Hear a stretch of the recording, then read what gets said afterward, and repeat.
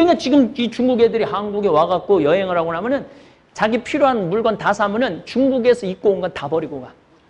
호텔에다 다 두고 가. 가방도 두고 가고 다 두고 가. 새 거 갖고 가는 거죠. 참 그런 걸 보면은 기가 막히죠. 내가 왜 중국 걱정을 하는 게 하느냐. 중국 걱정을 왜 하느냐 하면은 이제 우리가 중국을 잘 알아야 돼. 중국 사람들 제주도에 관광 온다고 땅 다 팔았어요. 다 팔은 건 아니고 여의도 두 배 많은 거. 한 제주도에 150만 평 정도, 160만 평 정도의 땅을 팔았어요. 사실은 제주도에서 160만 평이면 어마어마한 땅이죠. 그렇게 팔아놨더니 거기에 걔네들이 호텔 짓죠, 식당 짓죠. 그렇게 팔아놨더니 아니 거기다 식당을 줘갖고 중국 관광객을 우리나라 식당으로 안 보내고 자기네 식당으로 다 끌고 오네. 우리는 땅 뺏기고 관광객들 아무리 바글바글 해도 시끄럽기만 하고 돈은 누가 벌어가? 중국 사람들이 다 벌어가는 거예요. 그러니까 이게 우리가 중국을 이해하지 못하는 아주 극단적인 피해 중에 하나가 바로 그거예요.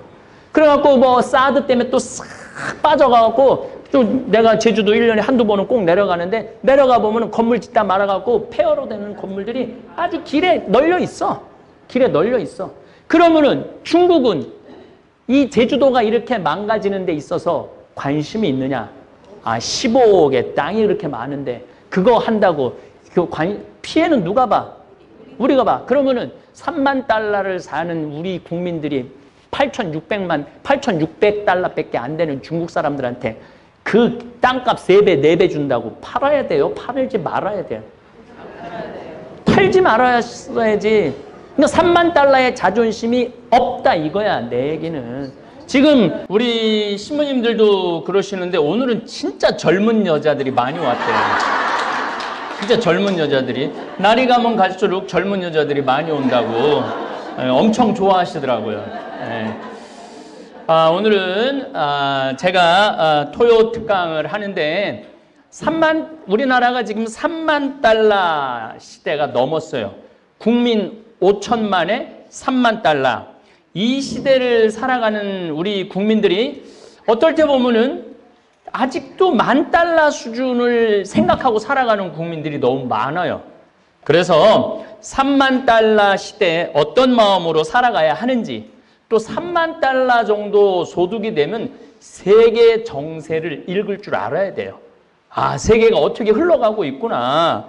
또 우리들의 생활 방식이 어떻게 바뀌어야 되는지 뭐 그 비근한 예로 3만 달러가 넘어서는 나라들을 보면은 대개 은퇴를 해서 아프리카에 한 번씩 갔다 와요. 1년 내지 2년 정도.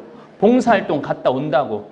왜냐하면 대개 연금들이 나오기 때문에 아직 내가 힘 있을 때 내가 그래서 미국이나 유럽에 가보면은 대개 어 신부님 저 1년 정도 가서 살다 왔습니다. 2년 정도 어 가서 살다 왔습니다. 그런 사람을 정말 많이 만나요. 근데 우리나라 국민들은 아직 그런 게 뭐가 뭔지를 아예 계획조차도 세우지 않고 있는 분들도 많은 거죠. 자신들의 삶의 방향, 그리고 이 3만 달러 시대의 복지 정책이 어떻게 바뀌는지도 모르는 분들 많아요. 제가 지난번에도 어, 한번 음, 강의 때 말씀드렸는데 지금 요즘 옛날에는 고아원이라고 하는데 요즘은 애육원이라고 해요. 애육원. 근데 애육원에 거기 중고등학교에서 한 달 용돈이 20만 원이 나와요. 그리고 사계절 옷 사입으라고 또 20만 원씩 15만 원인가 나와요. 토요일 날 일요일 날은 외출도 돼요. 핸드폰도 다 쓸 수 있어요. 학원도 보내줘요. 과외도 보내 해줘요. 영어 수학은 과외까지 해줘요. 그러니까 국가에서 이제는 웬만하면은 많이들 지원을 해줘요. 그리고 또 여러분들도 마찬가지예요. 한부모 가정도 지원금이 많아요. 또 이제 65세 넘는 분들도 지난 4월 달부터 어, 하위 30% 30만 원씩 나오고 조금 있으면 대부분이 다 30만 원씩 나와요. 그러니까 이제 시대가 참 많이 변하고 있는데 문제는 내가 공부를 안 하는 게 문제예요. 그래서 이 토요 특강은 그런 의미에서 지금 이 시대를 살아가는데 배워야 될 것에 대한 말씀을 드리는데 특별히 오늘은 5천년 역사 가운데 우리나라 5천년 역사 가운데 뗄래야 뗄 수 없는 나라 이 중국 이 중국에 대해서 좀 장황하게 말씀을 드리고 싶습니다. 아, 중국은 역사적으로 자신들이 통일 국가를 이루고 난 다음에는 반드시 우리나라를 침략을 했어요. 침략을 했던가 아니면 속국으로 만들었거나 어, 중화 사상이라는 것은 중국 자신들이 이게 뭐 중국을 중심으로 해서 어, 그려졌죠. 미국은 미국을 중심으로 해서 지도가 나와요. 예, 그리고 아프리카는 아예 거꾸로 지도가 나와요. 자기네들 밑에 안 있고 위에 있다 이거야. 그러니까 우리가 이 보는 지도가 전 세계 사람들이 똑같이 본다고 생각하면 큰 착각이에요. 예, 중국은 자기네들이 이 중화 사상으로 해갖고 요렇게 요 위에 있는 여진족, 말괄족, 돌골족, 몽골족 이걸 다 오랑캐라고 그랬어요. 이 밑에 베트남 이쪽도 다 오랑캐라고 그랬어요. 아니면 오랑캐라고 무시하거나 아니면은 자기네들 속국으로 만들었거나. 근데 그 첫 번째가 우리나라였어요. 우리나라. 중국은 사실은 역사 안에서 4대 문명 발생지입니다. 첫 번째는 어디가 문명 발, 발생지예요? 여기 유프라테스 티그리스강. 이거 우리 성소하고 직접 연관된 왜냐하면 아브라함 사람이 우루 사람이야. 우루 사람. 에, 티그리스강 바로 밑에 있는 사람이에요. 그 다음에 두 번째는 이집트 나일강이 여기서부터 시작이 돼요. 그래갖고 나일강에 이것도 성서하고 직접 연관돼 있죠. 그 다음에 인도 갠지스강, 인더스강 이게 어, 인더스 문명이죠. 그리고 이 황하 여기 히말라야에서부터 흘러내려오는 이 황하강이 바로 황하 문명이에요. 어쨌든 우리가 조금 성질이 나더라도 4대 문명 발상지 중에 하나가 황하, 황하. 우리는 한 강, 대개 강이라고 그러잖아요. 티그리스 강, 유프라테스 강. 근데 이 황하강은 바다도 아니고 강도 아니고 바다같이 보이기도 하고 강같이 보이기도 해서 이 하자를 쓰는 거예요. 음, 바다 같은 강이다. 그래서 황하라는 단어를 쓰죠. 어쨌든 중국은 역사 안에서 참 많은 나라가 흥망성쇠를 이뤘습니다. 우선 뭐 천황, 지황, 인왕, 그 다음에 오제, 에, 그래갖고 여기에 이제 요순 임금이 나와요. 여러분들 하나 외울 것도 없고 그냥 들어. 어. 그 오제, 오제의 끝에 요순 임금이 나와요. 요순 임금 끝에 또 누가 나오냐면 무, 어, 무왕이 나와요. 주나라라는 것이 나오는데 그 주나라를 일으킨 사람이 강태공하고 무왕이에요. 이제 이 중국 역사상 가장 오랜 기간, 기원전 1000, 여기 정확하게는 1046년부터 256년, 900년 동안, 여긴 또 서주, 동주가 있어요. 서주 기간이 있다가 다시 동주로 옮겨가는데, 문제는 동주로 옮겨갈 때 항상 우리나라 압록강하고 연해 갖고 중국이 이렇게 항상, 이게 기본이야. 그러니까 항상 이 진시황, 뭐 주나라 때부터 진시황, 그 다음에 한, 한나라, 이 모든 게 어디하고 연관되어 있느냐면은 우리나라 압록강. 여러분들 안시성이라는 영화 봤어요? 여기 어딘가에 있는 성이야. 그러니까 항상 우리나라하고 연관이 안 될래야 안 될 수가 없는 게 중국이라는 나라예요. 먼 나라가 아니에요. 베이징까지 겨우 900km밖에 안 돼요. 여기 서울부터 부산이 400km인데. 그러니까 베이징까지 고속철이 생기면 4시간이면 가는 거리야. 근데 우리는 중국이 되게 멀리 있다고 생각하고 오해하고 있죠. 어쨌든 어, 주나라는 이 한 500년 경부터 왕권이 약해져요. 그래갖고 이때부터 춘추 전국 시대가 시작이 돼요. 많이 들었죠? 춘추 전국 시대. 이건 사실 춘추 전국 시대가 중요한 게 아니라 제자 백가가 중요한 거예요. 제자 백가는 뭐냐면 공자, 맹자, 농자, 뭐 한비자, 뭐 순자, 뭐 무슨 뭐 하여튼 뭐 굉장히 법가 이 백가지의 이론이 나왔다. 그래서 제자 백가야. 근데 사실은 이 문화적으로 가장 융성했던 때가 이때이기도 합니다. 이 춘추 전국 시대 제자 백가 이 시대를 통일한 사람이 바로 진시황이에요. 진시황. 그래서 진시황이 위대한 거예요. 예. 그래갖고 통일을 딱 해놓으니까 이 온갖 춘추 전국 시대 제자 100가지 이론이 있으니 말이 100가지가 있는데 나라를 통일을 해? 그래서 어떻게 했어? 분석 갱유라는 거래요. 싹 태워버려. 공자 책이든 공자 노노 뭐 맹자 뭐 이런 싹 다 불태워버려. 뭐만 딱 남겨놓느냐면 농사 짓는 서적만 남겨놓고 다 불태워버려. 그래서 뭐를 하냐면 사상을 한 가지로 통일하겠다. 그래서 분서 갱 유라는 게 나와요. 그 다음에 도량 치수도 똑같이 만들고 법도 하나로 어, 이 제도도 이렇게 그러니까 군 뭐 이런 걸 다 정비를 하는 사람이 누구냐면 진시황이에요. 근데 문제는 이 진시황이 문제가 아방궁을 만들어 놓고 살았다는 거예요. 아방궁이 누구한테서 나온 거냐면 진시황한테 나오는 거예요. 그 다음에 또 문제는 만리장성을 쌓아요.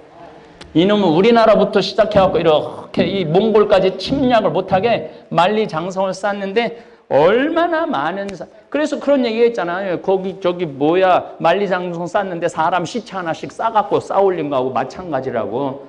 그러니까 너무너무 힘들었던 거지.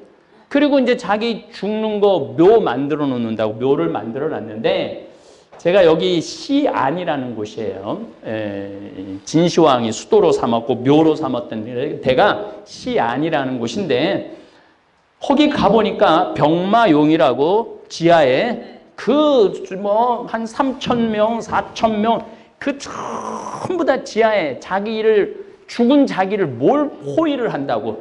그 병마용. 근데 그 병사들 얼굴 표정이 똑같은 사람이 한 명도 없어요. 가보신 분들 알겠지만은 그리고 실질적으로 아직까지 진시황 묘는 아직 개방하지 않았어요. 예, 개방하지 않았어요. 그 크기가 지금 이집트의 피라미드보다 크다는 거예요. 이 병마용도 어머 그러니 그 많은 걸 하니 백성들이 허덕이겠죠.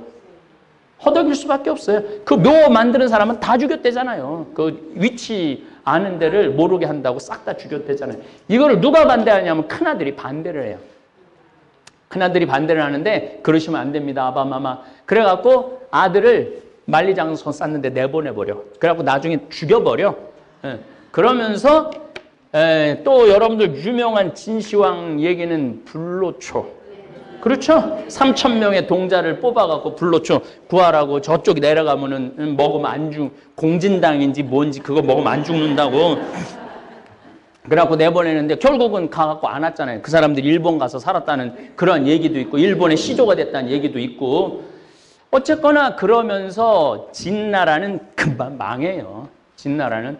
진나라가 금방 망하면서 여러분들이 너무너무 잘 알고 있는 초한지, 초나라와 한나라. 장기 둘 때 초나라, 한나라, 장기, 한나라는 빨간 거, 초나라는 팔, 파란 거 아시죠? 거기에 항우와 유방이 등장을 하는 거예요. 근데 항우 장사라고 그러잖아요. 항우는 힘이 어마어마하게 셌어. 근데 이 항우가 힘만 셌어. 유방은 유방은 외우기도 쉽잖아. 유방은 예. 내가 그 비누 만들 때 용인시 처인구 유방리야. 유방리야? 유방리 아는 분들 알 거예요. 그거 왜 유방이냐면 그 동네가 유방 같아서 유방리예요. 동네가. 어쨌든 이 유방은 어쨌든 뭐 하여튼 굉장히 남의 말을 잘 듣는 사람이야.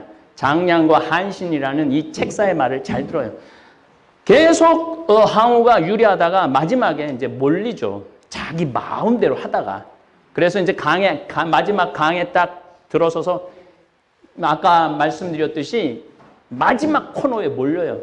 이랬을 때 배수진을 치자. 내가 힘으로는 누구든지 다 이길 수 있으니까 병사들한테 우리 저 한나라 놈들 이길 수 있다. 그래갖고 이제 결의를 하는데 아, 딱 공격하려고 보니까 눈빛이 다 살아있는 거야. 아, 우리가 덤벼들었다가는 아니 뭐 쥐, 쥐도 궁지에 몰리면 고양이를 문대는데 우리가 아무리 지금 군사수로 우수하지만 안 되겠다. 한신이 건의를 해요. 유방한테. 하루 참자고. 그래서 바로 안 몰고 기다려. 기다렸는데 이 한신이 그런 말을 하는 거예요. 초나라 혹시 예, 이따가 온 군사들이 있으면 전부 다 불러오라고. 너희들 초나라 노래를 아느냐? 안다고. 그 앞에서 아주 구성지게 노래를 하는 거야.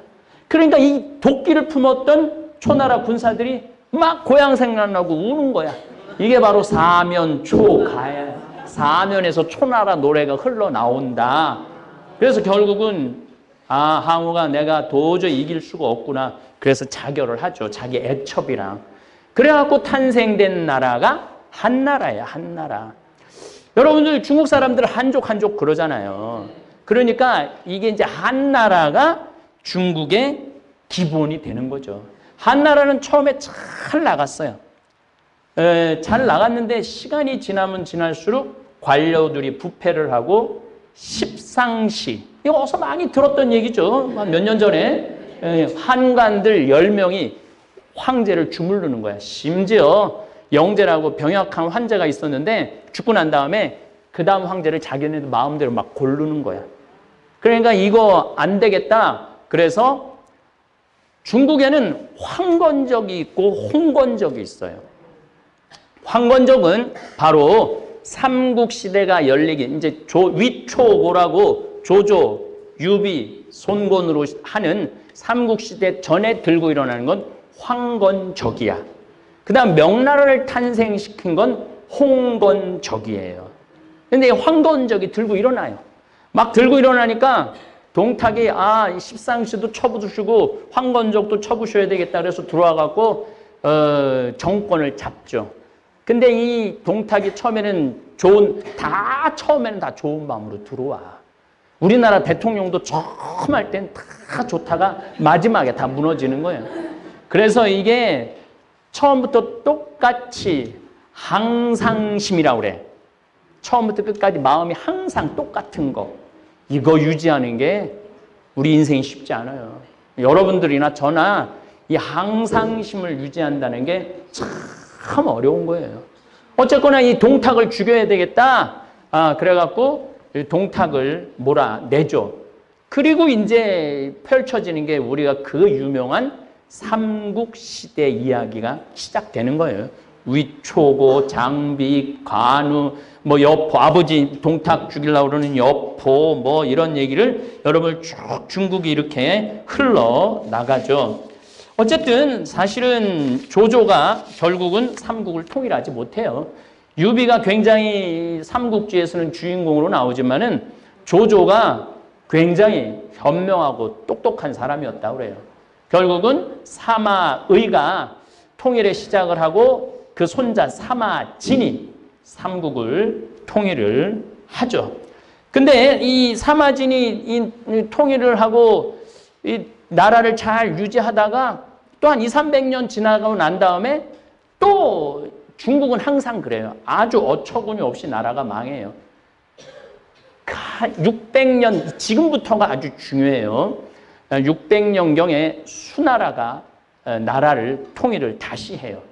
수나라가 나라를 통일하는데 이 수양제는 어떻게 하느냐면은 이 나라를 이제 다 통일하고 힘도 좀 남고 그러니까 어딜 쳐야 된다? 만주를 휘어잡고 있는 고구려를 쳐야 된다. 그래갖고 고구려로 쳐들어와요. 그런데 세 번을 쳐들어오는데 우리 을지문덕, 이 을주문덕한테 당해갖고 이 수나라는 40년을 못 가요. 근데 을지는 사실은 이게 우리나라 성이 아니라 여진족 성이에요. 제가 제가 말씀을 드렸는데 내가 토요특강 못 들었으면은 못하죠. 여진족은 사실 우리 지금 음, 탈북 주민이 여기 있는데 신의주에서 탈북을 했는데 아직도 여진족하고 같이 산대요. 북한에서도 여진족은 따로 관리를 한대. 여진족이라고. 그러니까 여진족 사람들은 이 고구려하고 신라하고 그래서 싸웠을 때 통역관을 데리고 나왔대잖아요. 그러니까 우리가 생각하는 고구려는 우리 말을 같이 쓰지는 않고 그 여진족 쪽, 음, 만주족 언어를 썼어요. 근데 우리도 지금 만주족 사람들하고 한 6개월만 같이 있으면 의사소통이 된대요. 그렇게 비슷한 말이 많대요. 어쨌거나 하여튼 을지 문덕 장군 때문에 수나라는 그 40년밖에 못하고 망하죠.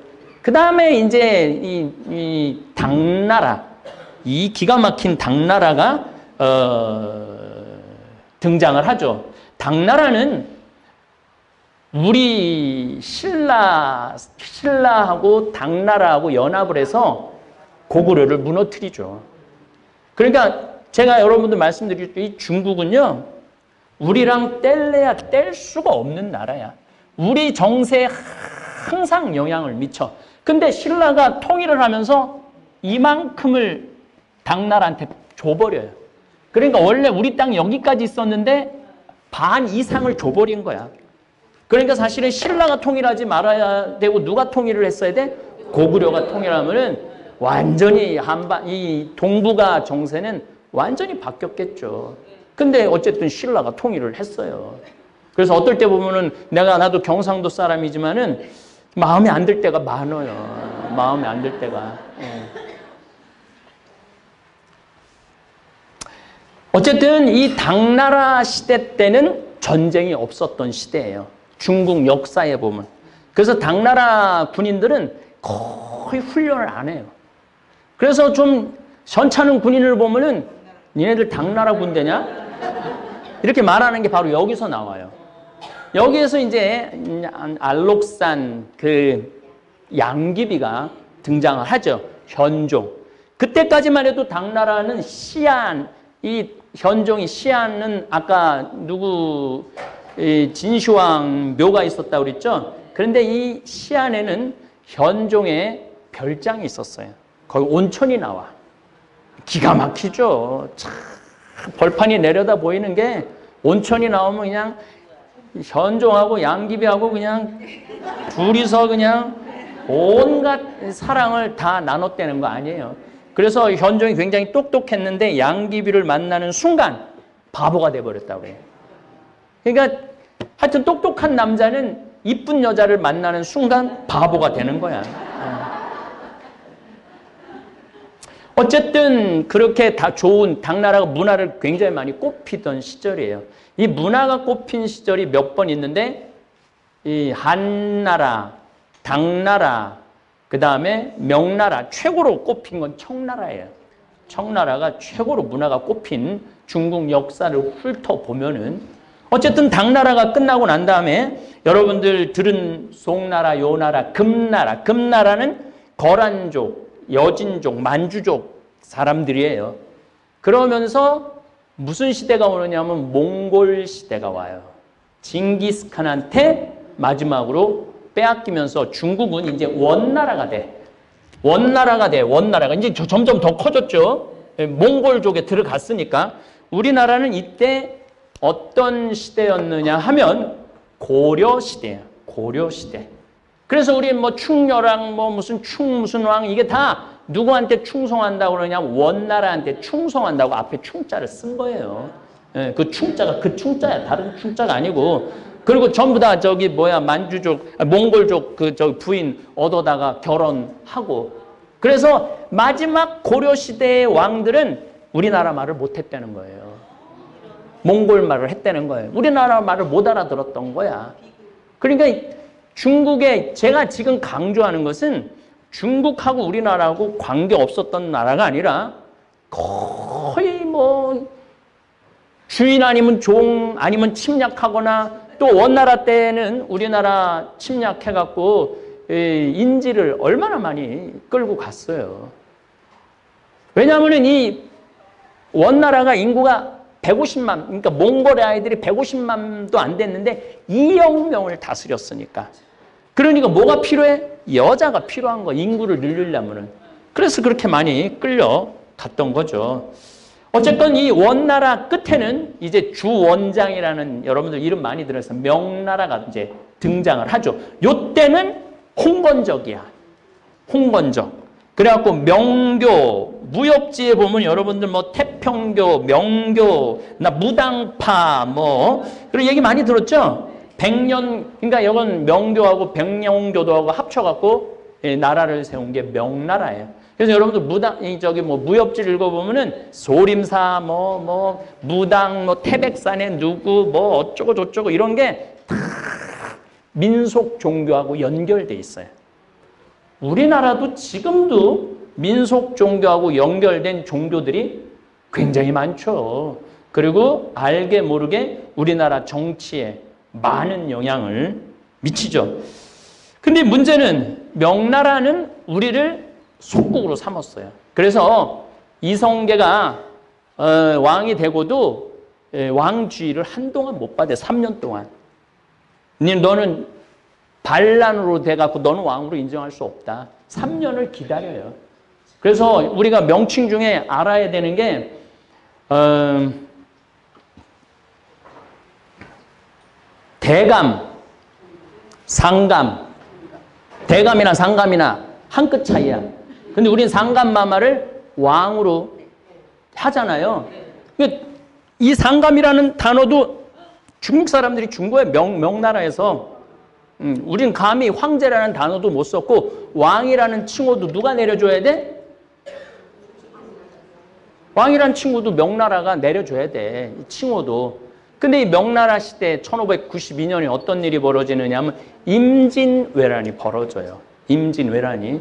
임진왜란이 벌어지고 이제 막 거의 뭐 왕이 막 압록강 앞까지 도망을 가니까 이 명나라에서 이여성 장군을 보내갖고 오만을 보내갖고 전쟁을 하죠.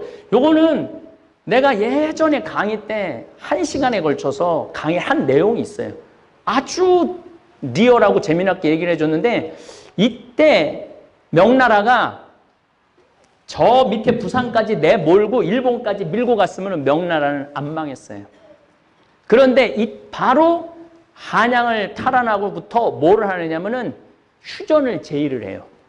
그러면서 거의 5년 동안을 명나라 군인들이 5만 명이 여기서 머물러. 그러면서 계속 본국이 군사 아주 잘 싸우는 애도 5만 명을 딱 내빼냈으니까 계속 북쪽이 약해졌던 거야. 그래서 얼마 버티지 못하고 누구한테 나라를 뺏겼냐 만주족한테 나라를 뺏겨요. 그게 바로 청나라예요. 예.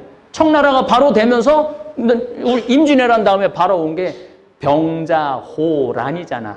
이건 외란이고 저건 호란이잖아요. 예, 예. 병자호란 이때부터는 청나라 그러니까 너희들 우리한테 형님 나라로 해라. 우리는 명나라고 의리를 지켜 벌써 게임 끝났는데 게임 끝났는데 우리는 명나라한테 의리를 지켜야 된다. 이놈 새끼들이 아직도 정신을 못 차리는구나. 그러고 밀고 내려오는 게 병자호란이에요.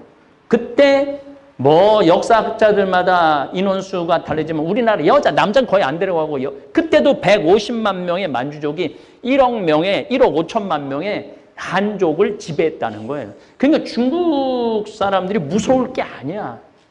조금만 하면은 먹을 수가 있어. 내가 늘 얘기했지만 일본도 만주까지 먹었어요. 일본도 영국도 아까 영국 그려달라 그러니 영국도 아편 전쟁으로 중국 거의 먹어갖고 항복해갖고 홍콩하고 여기저기 내줬잖아요. 저기 뭐야 홍콩하고 그 뭐야 그 저 카지노 있는데 마카오를 내줬잖아요. 100년 쓰라고. 그런데 만주도 중국을 먹었고 몽고도 중국을 먹었고 일본도 중국을 먹었는데 우리나라만 중국을 못 먹은 거예요. 그러니까 조금만 정신 차리면은 먹을 수도 있다는 얘기죠. 너무 위험한 발언을 했나? 나는 먹으라 먹을 먹어서도 안 되고 먹을 필요도 없다고 생각하지만 중국을 무서워할 필요도 없다는 거예요. 중국을 무서워할 필요도 없어요. 어쨌거나 이 청나라는 이렇게 지금 여러분들 4천 년을 지금 25분에 지금 배우고 있는 거예요. 음. 어쨌거나 하여튼 어, 이 청나라는 정말로 문화적으로 융성했던 나라예요. 그런데 문제는 점점 점점 1800년 오면서 아편을 하고 시작하면서 이, 이, 이 제국주의를 이해를 못했던 거예요. 제국주의를. 요때는 막 제국주의가 막 나올 때 청나라는 누가 난리를 쳤느냐면 서태후가 48년을 집권을 해요. 그러니까 이 여자가 48, 여자를 무시하는 게 아니라 이, 이 서태후는 또 남성 편력이 너무너무 심했던 황후예요. 그러니 이게 뭐가 될 게 뭐 있어. 그래갖고 청일 전쟁, 청일 전쟁은 또 여러분들 잘 알죠. 동학혁명 일어나고 나서 어, 고종이 아 이게 곧 있으면 죽을 것 같단 말이야. 그러니까 청나라한테 우리 좀 지켜달라고 그래갖고 7천 명을 파견을 해요. 그러니까 일본 애들이 어 우리도 이거 저기 뭐야 우리 그 시모노세키 조약을 통해서 먹을 수가 있게 돼 있었거든요. 그러니까 우리도 들어가야 되겠다. 그래갖고 해갖고 이거 요건 시모노세키 조약은 그 다음에 일이지만은 하여튼 전쟁을 해갖고 어마어마한 중국에서 배를 갖고 나왔는데 포도 포가 좋았는데 포소 포가 포 알이 없었던 거야. 배도 크고 이 서편제가 다 끌어다 쓰는 바람에 이화원 만들고 참 사치하고 향락하고 그러는 바람에 청나라는 1912년에 끝나요. 그러니까 우리나라하고 거의 같이 명을 하죠. 그리고 이 청 끝나고 난 다음에 뭐 막 별게 다 생겨요. 근데 결국은 에, 국민당의 장제스 장제스라고 그러죠. 원래 이름이 장제스예요. 공산당의 마오쩌둥하고 결국은 서로 싸워요. 이제 권력을 가지고. 그러다가 1949년에 결국은 마오쩌둥이 이기죠. 장제스는 대만으로 도망가고 그래갖고 1949년에 공산당이 이제 중국 공산당이 탄생을 하는 거예요. 이렇게 중국의 역사가 흘러왔죠. 근데 49년에 전쟁 자기네들이 내전을 통해서 공산당이 정권을 잡았는데 1950년에 6.25가 터져요. 6.25가 터지니까 압록강까지 우리가 밀고 올라갔을 때 마오쩌둥은 순망치한이라는 말을 써요. 입술이 없으면 이가 시리다고. 북한이라는 요, 이, 요, 요게 없어지, 없어지면은 바로 우리가 미국이라는 나라, 우리는 공산주의고 미국이 민주주의인데. 그러니까 정말로 잘 싸우는 군인들 90만 명을 파견을 하죠. 아무것도 안 보내고 여기 옥수수하고 쌀가루만 딱 져서 총 한 자로 해갖고 밤에만 움직이는 거야. 그렇게 많은 사람이 들어올 줄은 꿈에도 몰랐던 거지. 예. 그 바람에 일사후퇴라는 게 생긴 거예요. 이것도 결국은 누구 얘기냐면 중국하고 우리 얘기예요. 그러니까 우리 역사 안에서 일본을 뗄래야 뗄 수 없지만은 중국도 뗄래야 뗄 수 없는 나라야. 그렇다면 중국을 이해해야 돼. 도대체 중국 민족은 어떻게 생겨 먹었고 그 민족은 심성이 어떻고 그런 거를 우리가 알아야 되는데 전혀 모르고 방송에서 뭐만 나오면 저런 나쁜 놈들, 저런 이상한 놈들 요 정도 수준으로 이해해서는 안 된다는 거예요. 결국 지금도 중국은 공산주의고 대한민국은 민주주의지만 중국은 대미 수출은 중국에 밀려 2위로 떨어졌어요. 무슨 얘기냐면 우리가 미국으로 수출, 얘 미국으로 수출을 제일 많이 했어요. 또 미국에서 우리 물건을 많이 사줬고 예, 동맹국이니까. 근데 지금은 이제 어디로 음, 중국으로 수출을 제일 많이 해요. 우리 수출이 한 25%, 27%, 미국은 이제 17%, 18%, 16%까지 떨어져요. 그 대신 이제 베트남이 지금 12%, 11%까지 올라와 있어요. 그러니까 지금은 경제적으로는 누구하고 가까우냐면 중국하고 가까운 거 미국보다. 군사적으로는 완전히 반대야. 완전 우리 미국한테 의지하고 있고 군사는 중국하고는 완전히 상극이야. 그러니 이게 얼마나 이상한 구조예요. 군사는 미국한테 기대고 있고 경제는 중국한테 기대고 있고 그럼 이게 한편으로는 좋을 수 있지만 뒤집어서 말하면 은 우리 미치게 만드는 거예요. 미국이 사드 배치하라고 그러니까 우리 사드 배치했죠? 미국이 배치했어. 그랬더니 중국이 감히 우리한테 미사일을 들이대고 이 방공망을 설치를 해? 니네들 롯데 장사 못해. 막았잖아요. 그 다음에 한국으로 관광 나가는 거 다 막고, 그 다음에 우리나라 한류 가수들 들어가는 거 다 막고, 그 한, 한영이라는 거야. 그러니까 우리 꼼짝 없는 거예요. 아, 그리고, 아, 그래서 이거 이러면 안 되겠다 그래갖고 미국한테 우리 좀 북한하고 친하게 지내면 안 되느냐고 가서 얘기하니까 안 돼. 우리가 허락할 때까지 니네 안 돼. 우리 북한하고 우리는 작년부터 친하게 지기로, 지내기로 합의를 했거든요. 근데 미국에서 안 된다니까 안 되는 거야. 군사적으로는 미국에서 안 된다 그러니까 이러지도 못하고 경제적으로는 중국이 안 되니까 이러지도 못한다고. 그러니까 지금 반도체 중국에서 지금 철수하기 일보 직전이에요. 자동차 중국에서 철수하기 일보 직전이야. 핸드폰도 중국에서 철수하기 일보 직전이에요. 왜? 막으니까. 제가 1997년 20년 전 이야기예요. 내 멘토 신부 이용삼 요셉 신부가 중국 선교사로 나갔을 때 처음 제가 중국에 발을 디뎠어요. 장춘에 선교사로 나갔을 때 신부님 보러 북경하고 장춘을 갔어요. 북경에 딱 갔는데 천안문 광장에 딱 섰는데 정말 입이 딱 벌어지더라고. 광장이 너무 넓어서. 예. 그 넓은 광장에 1900, 아, 1989년, 1800, 1800, 1989년에 천안문 사태가 일어나요. 그 넓은 광장에 탱크를 다 문마다 다 막고 거기에 있는 대학생들 싹 쓸어버린 거 아니에요. 예, 등소평이 쓸어 그러니까 이 중국 사람들은 사람 죽는 거를 아무렇게 생각지도 않아. 싹 쓸어버리죠.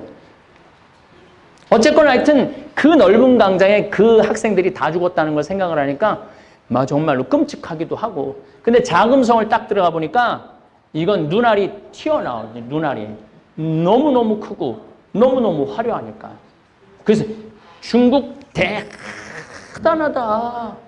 그렇게 생각을 했어요 그런데 이제 한 며칠을 생활하고 자금성 구경하다 너무 오줌이 마려웠고 공동 화장실 딱 들어갔는데 깜짝 놀랐어요 전부 다 남자고 여자고 쳐다보는 거 나를 내가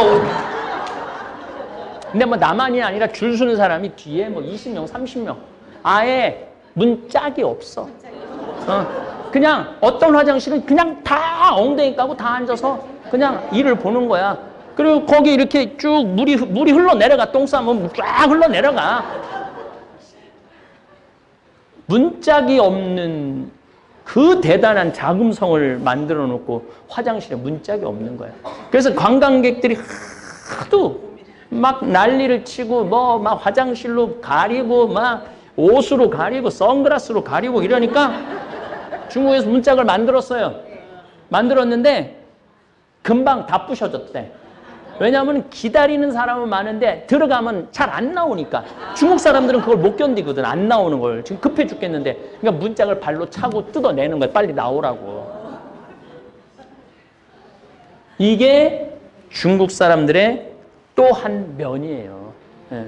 이게 사람이 많으면요 무식해지게 돼 있는 거예요. 사람이 많으면 거칠어지게 돼 있는 거예요. 그러니까 중국 사람들은 굉장히 거칠고 무식, 무식한 건데 좀 이따 또 얘기를 할게요. 중국이 얼마나 무식한 세월을 보냈는지.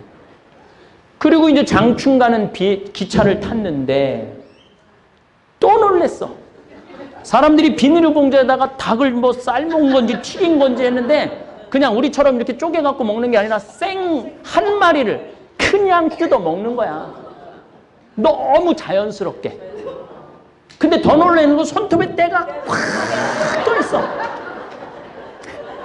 안 씻는 거지. 안 씻는 거지. 정말로 안 씻는 민족이 중국 민족이에요. 난 오늘도 아침에 평창에 목욕탕에 갔다 와서 정결례를 하고 왔는데 하루에 한 번은 씻는데 중국 애들은 한 달에 한 번도 안 씻는 한 달에 한 번도. 참. 근데 안 씻는 이유도 나중에 알고 보니까 있더라고. 뭔가 이 상하도 상하수 시설이 잘 돼 있어야지 씻지 그런 시설 자체가 없는데. 그래갖고 우리 저기 신부님이 그 수영장에 가니까 거기 가면 때가 막 둥둥 떠 있다는 거기 한 시간씩이면 물 뿌르니까 이러면서 수영하고 막 이러면서 보인데 때 미는 게 누가 공자의 나라라고 그래요. 한 발자국 중국 문화 사회에 더 들어가 보니까 어 이건 뭐지? 내가 생각했던 중국하고 너무나 다른 중국인 거예요. 인간이 많은 곳에는 극단적인 아, 인간이 많은 게 좋은 게 아니구나. 밤 시장을 나가 보니까 개구리 다리 꼬치 파는 집에 들어가 보니까 얼마나 똑같은 기름을 오래 튀겼는지 기름이 새카매. 그리고 사고파고 그것도 막 좋다고 뜯어 먹어. 근데 저는 폐식용료로 비누를 만들어 갖고 기름에 대해서는 전문가예요. 이게 한 번 닭 튀긴 건지 두 번 닭 튀긴 건지 백 번 튀긴 건지 보면 알아. 그 산화도에 따라서. 근데 내가 보니까 한 거의 처음 튀기고부터 한 번도 안 가는 것 같아, 기름을. 야, 이거 중국, 그때 막 중국이 개방을 하고, 뭐, 흑면이, 뭐, 그 검은 진이, 뭐, 하얀 진이 쥐만 잡으면 되지 않느냐. 그래갖고 막 핑퐁 외교가 시작되고, 막 그런 게 막 진행이 돼갖고, 막 경제적으로 오픈을 막 하고 발전을 할 때였거든요. 중국은 20년 전부터 전 세계로 물건을 만들어 판 세계 공장으로 태어나던 시기죠. 세계 모든 생필품을 다 만들어 팔기 시작하면서 중국 제품이 없으면 생활을 할 수 없을 정도로 중국은 전 세계에서 중요한 나라가 되었습니다. 우리 죽은 김순겸 요한 신부 외방 선교인데 파푸아 뉴기니 내가 만나러 갔어요. 그거는 2004년, 2003년경에 만나러 갔는데 그 김순겸 신부가 그 한국에서 그 멀리까지 또 친구라고 찾아왔다고 어 그 랍스타 저 새우를 바다에서 잡아갖고 이제 해준다고 원주민한테 랍스타 좀 몇 마리 잡아오라 그러니까 신부님 뭐 돈도 필요 없고 아무것도 없고 자기 꼭 소원이 하나 있다는 거예요. 청바지 made in Korea로 써 있는 거 하나만 주면 잡아주겠다고. 그래서 뭐 뭐 올 때 뭐 청바지 많이 싸갖고 왔죠. 왜냐하면 선교사들은 옷 막 찢어지고 헤어지니까 청바지를 많이 갖고 가요. 그거 하나 없겠나? 그래갖고 집에 와갖고 made in Korea를 찾는데 전부 다 made in China래. 자기는 꿈에도 몰랐다는 거, 꿈에도. 근데 겨우 반바지 하나 made in Korea 청바지가. 그걸 갖고 거기 파푸아 뉴기니 원주민이 너무너무 좋아해갖고 랍스타를 이만한 거, 이만한 거, 이만한 거 하여튼 열 몇 마리를 잡아왔어요. 근데 지금도 그 랍스타를 잊지 못해요. 아유, 뭐, 지금은 별로 랍스타를 봐도 뭐, 뭐 별로지만은 그때는 막 새로운 음식, 그런 굉장히 고급 음식이잖아요. 그거를 그냥 먹는데, 한 마리를 먹는데, 아, 너무 맛있더라고. 바다에서 갓 잡아갖고 한 거라. 그랬더니 그 김신부가 나한테 그러더라고요. 이제 우리 저기 뭐 창현이 너 조금만 있으면 꼬리 부분만 먹을 거라는 거야. 아, 근데 한 마리를 먹으니까 배가 너무 부르는데 다섯 마리가 있는데 도저히 못 먹겠더라고. 근데 꼬리 부분이 제일 맛있는 거야. 꼬리만 네 마리는 다 뜯어 먹고 말았던 내 기억이 나는데 어쨌든 이 중국 제품이 없으면 세계가 돌아가지 않는 상황이 20년 전부터 시작했던 거예요. 그리고 중국이라는 나라가 짝 퉁으로 못 만드는 게 없네. 모든 걸 약 딱 1% 부족한데도 다 만들어내. 근데 문제는 이 짝퉁 때문에 소신을 갖고 자부심을 갖고 물건을 만들던 장인들이 전 세계에서 사라져가는 시기이기도 해요. 각국의 나름대로 기술을 가지고 신발 만드는 사람, 옷 만드는 사람, 가죽 옷 만드는 사람, 뭐 시계 만드는 사람 다 했는데 너무너무 싸게 짝퉁이 들어오니까 견디질 못하고 전 세계 장인들을 싹 죽여버리는 거예요. 이건 내가 나중에 한 번 또 얘기를 할 거예요. 요건 아주 중요한 부분이라. 왜냐하면은 가격, 가격 경쟁력에서 될 수가 없으니까. 그런데 짝퉁도 통하는 짝퉁이 있고 안 통하는 짝퉁이 있는데 배도 우리나라가 계속 조선 배 만드는 거 세계 1위를 유지하다가 한 5년 전부터 중국한테 뺏겼어요. 왜냐면 워낙 싸게 하니까. 근데 이거는 1% 부족하면 큰일 나는 거죠. 중국한테 다 보냈는데 어, 북극에 갔는데 배가 딱 서갖고 안 움직이는 거야. 이게 바다 한가운데서 배가 쓰면은요, 그 내가 그쪽에 관계된 사람들을 마, 만나갖고 대화를 해보면요, 미친대요. 도로 한가운데서 배가 쓰면은, 차가 쓰면은 두고 딴 차 타고 가도 되지. 근데 짐은 잔뜩 실어놨지. 그 배가 바다 한가운데 쓰는데 그거 놔두고 어딜 가? 가긴 바다 한가운데서. 죽으는 사나 고쳐갖고 가야 되는데 어디가 고장났는 줄 알아야지. 배는 중국에서 만들어 왔고. 그래서 작년, 재작년에 그 중간에 쓰는 배들이 너무 많아갖고 작년부터 다시 한국으로 수주가 돌아오기 시작한 거예요. 그래도 믿을 건 한국이라. 그래서 올해 3월 달에 세계 1위 조선 수주가 다시 탈환을 했잖아요. 예. 박수 칠 일이 아니에요. 그 5년 동안 우리나라 조선소들은 구조조정이 들어갔고 울산, 통영, 옥포, 거제, 군산, 여수 수많은 조선소들이 문을 닫거나 일거리, 일거리가 없어서 고전을 하고 있고 고통을 겪은 거야. 그러니까 결국은 돌아 돌아보면 결국 누구 때문에 이 고통을 겪고 있느냐면 중국 때문에 고통을 겪는 거야. 뭐 중국 때문에 수출이 잘 돼갖고 뭐, 뭐 우리나라가 살만하니 어쩌고 저쩌고 해도 나중에 뒤집어 보면은 중국 때문에 고통을 겪고 있는 거예요. 저는 가장 저에게 그 놀람과 충격의 나라 10년 전으로 거슬러 올라가겠습니다. 어, 진샹 무동과 병마용 또 당 현종의 양귀비 사랑이 묻어 있는 도시 시연을 둘러보았을 때, 야 엄청 발전했구나. 한 번은 식당에 들어갔는데 프랑 중국 식당 얘기하는 거예요. 프랑스 베르사유 궁전하고 똑같은 모양으로 식당을 만들어 놨어. 유리 궁전도 있고. 그러니까 걔네들은 하여튼 뭘 똑같이 만드는 데 귀신이야. 그 통이 커. 아, 우리가 어떻게 감히 베르사유 궁전을 똑같이 한국에다 만들 생각을 해요. 그럼 그걸 식당으로 운영하고 있더라고요. 식당으로. 근데 뭐 거기서 밥을 먹으면서도 뭔가 1% 부족하다. 내가 베르사유 궁전도 갔다 와봤거든요. 근데 거기 베르사유랑 중국에 있는 베르사유랑 뭔가 1% 부족하다. 근데 요즘은 아예 프랑스 유명한 마을, 스위스 마을 같이 아예 유럽 관광지하고 똑같은 곳을 만들어 놓아서 비싼 돈 들여서 유럽까지 가지 말고 그냥 여기 똑같은 데로 와라. 이렇게 만들어 놓은 데도 아주 많다는 거예요. 그리고 이제 제가 실크로드가 시작되는 곳이기도 하면서 칠채산이라고 산 색깔이 일곱 개 있어요. 칠채산이라고 무지개산이라고 거기는 아주 중국 서안 아주 맨 끝에 카자흐스탄, 우즈베키스탄 들어가는 초입 부분이에요. 거길 가봤는데 거기까지 가는데도 비행기도 타고 차도 엄청 타고 가죠.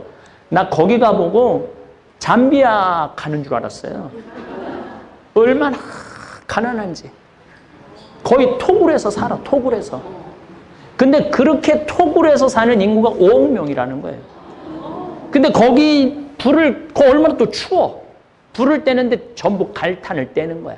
갈탄을 떼니까 굴, 굴뚝마다 싹하만 갈탄 탄 그게 나오는 거야. 그걸 보면서 야 겨울에 저걸 때문에 저 미세먼지가 다 한국으로 올 텐데 그게 내가 10년 전 일이에요. 근데 여러분들 미세먼지 시작된 게 10년 전이야. 10년 전. 현재 6억 5천만 명의 가난한 농민들은 최저 빈민국 신세로 살고 있는 게 중국이에요. 아니 중국 사람들은 해외여행할 때 돈 팡팡 100달러 어, 100달러짜리 이렇게 하면 만 달러 정도 되거든요. 그래갖고 막 무슨 뭐 구찌 뭐뭐 뭐 이런 거 뭐뭐 뭐 산다고 막 그러는데 어, 그 사람들은 어떤 사람? 그 사람들은 다 공산당 사람들이에요. 공산당원이 중국에 8,500만 명이에요. 그 다음에 공산당하고 연결된 사업을 하는 사람들. 그 다 상하이, 산둥반도 이쪽에 사는 자, 이제 중국을 좀 이해를 하면은 요렇게 붙어 사는 사람들은 다 잘 살아요. 우리나라를 중심으로 산둥반도 요 밑에 예, 요쪽에 있는 사람들은 다 잘 살아요. 예, 베이징이 아까 900콜이라고 그랬죠? 요 라인에 있는 사람들은 다 잘 살아. 반대 뭐 티베트는 나중에 이 공산 1954년에 여기를 합병을 하죠. 이 요때 막 6.25 전쟁하고 정신 없을 때 요럴 때 막 다 뺏어 와요. 예. 그래갖고 중국이 엄청 커졌죠. 이 내륙 지방 사람들은 거지로 사는 거야. 거지로. 그리고 제가 여기 산동반도 이쪽에 가서도 강의를 많이 했었는데 거기는요 유럽 유럽 같아요. 얼마나 건물을 잘 줘놓고 사는지. 그러니까 중국의 빈부 격차는 우리 한국 사람들이 생각하는 것보다 훨씬 크죠. 중국은 지금 국민 소득이 8,600달러, 1인당 국민 소득이 8,600달러. 우리는 3만 1,000달러. 우리가 중국보다 훨씬 잘 살죠? 네, 중국 무서워할 게 뭐 있어?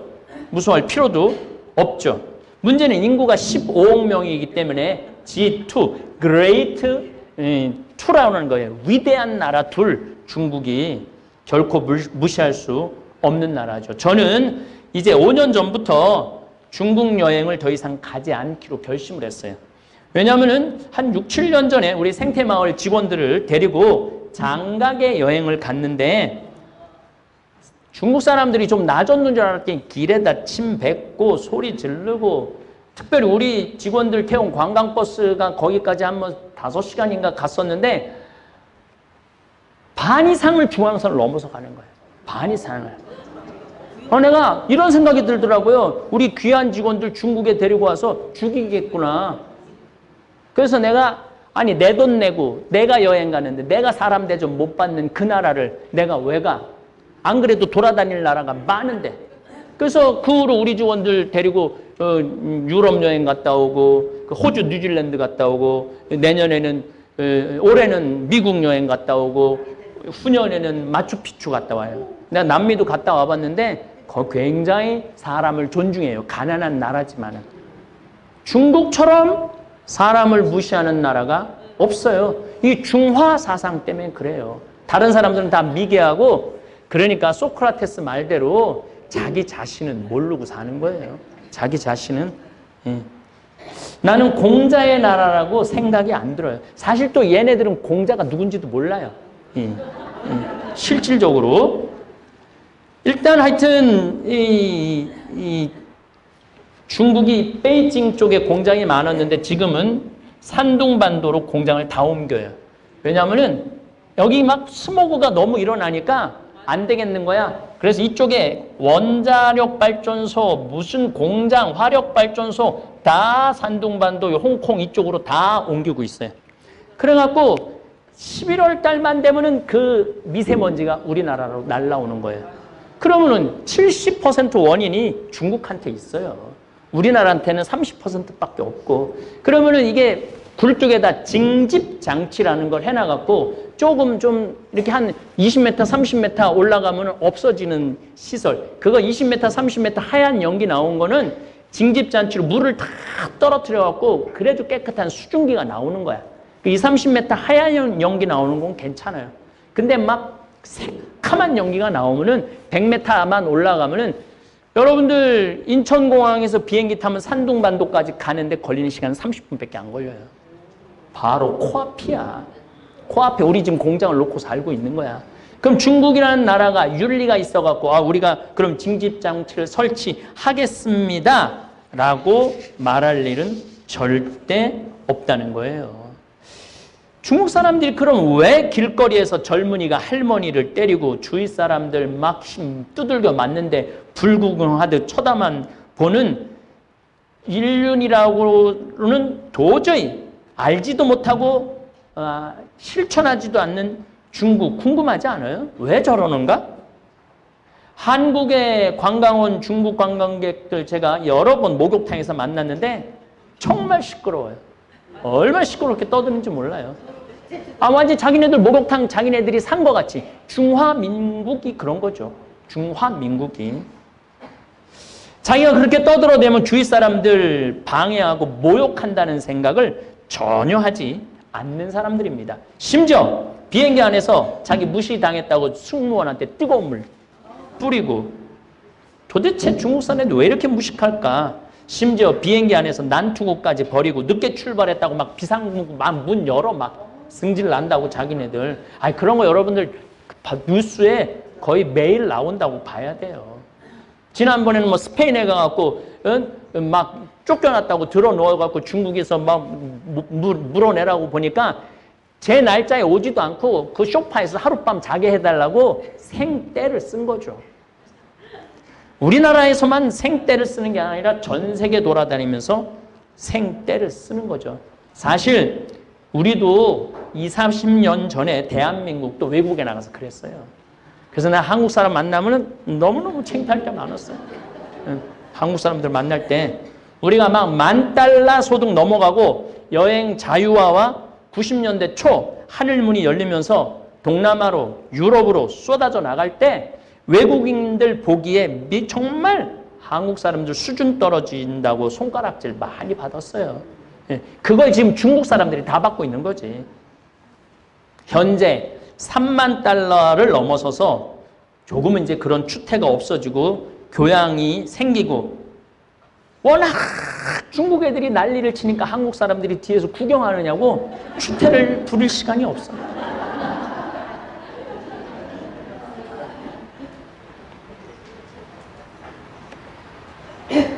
만약 한국 사람들 가운데 지금도 비행장에서 소리 지르고 쓰레기 길거리에 외국 길거리에 버리고 뷔페집에서 먹지도 않는 음식 잔뜩 쌓아놓고 나온다면 아직도 중국인들 수준에 머물러 있는 거예요. 저는 뭐 크루즈 여행 여러 번 가봤는데 중국 사람들 그대로 쌓아놓고 가는 거 많이 봤어요. 먹지도 않을 건데 그래갖고 저 노르웨이의 한 크루즈는 그 중국 사람들 때문에 내년에 문 닫는 데잖아요. 그 오는 거 말, 말릴 수도 없고 그 음식 수지 타산이 안 맞고 그래갖고 문을 닫는데요.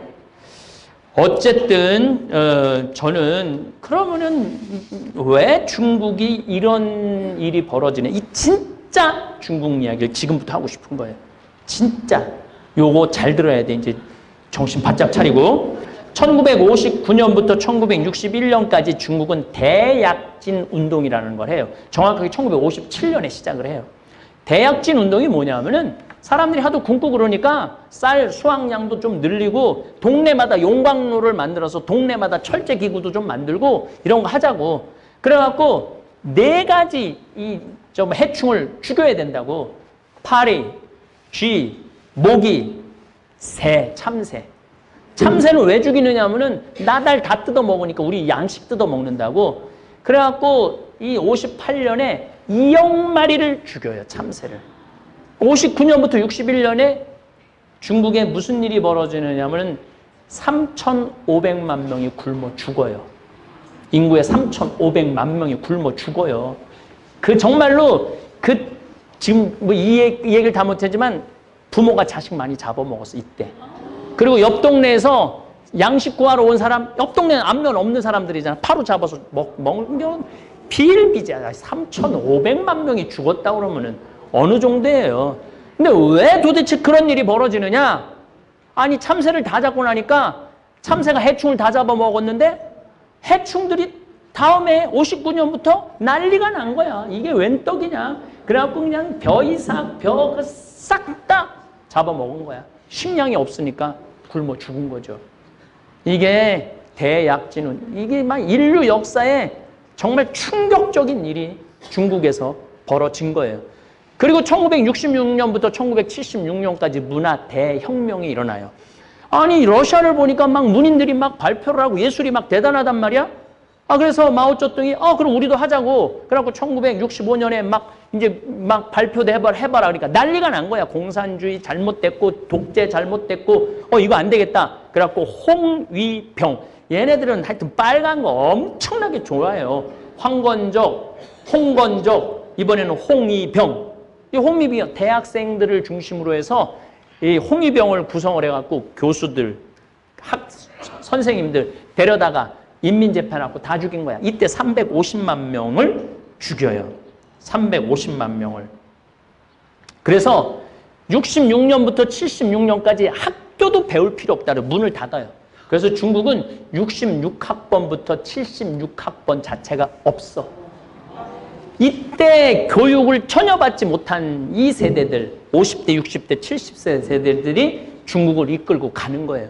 그러면 이때 교육을 전혀 받지 못한 이 사람들이 자기 자녀한테 윤리 교육을 아예 윤리 교육을 하지 말라고 그랬어. 그리고 더 놀라운 건 공자 사당을 무너뜨려요. 공자 사당을 운무를 저, 저수지를 만들어. 그 다음에 왕들 묘도 다 파버려. 다, 다 뼈까지 다 추스려 버려. 그리고 이 종교는 인민의 아편이다. 그리고 이 유교도 종교다. 그래갖고 싹 다 부셔버려. 심지어 어느 정도냐면은 요리사까지 다 죽여버려. 니네들이 미식으로 해갖고 인민들 배 굶긴다고 지가 대약진 운동해갖고 인민들 3,500만 굶긴 건 생각하지 않고 공자 책도 다 불사르고 공자 묘를 폐해쳐서 연못으로 만들고 불상은 녹여서 숟가락으로 만들어서 숟가락으로 교수들은 땀 흘려 노동을 하지 않고 밥 먹는 벌레 같은 놈들이다. 앞으로 교육으로는 돈 받을 수 없다. 이게 그 유명한 문화 대혁명의 1966년부터 76년.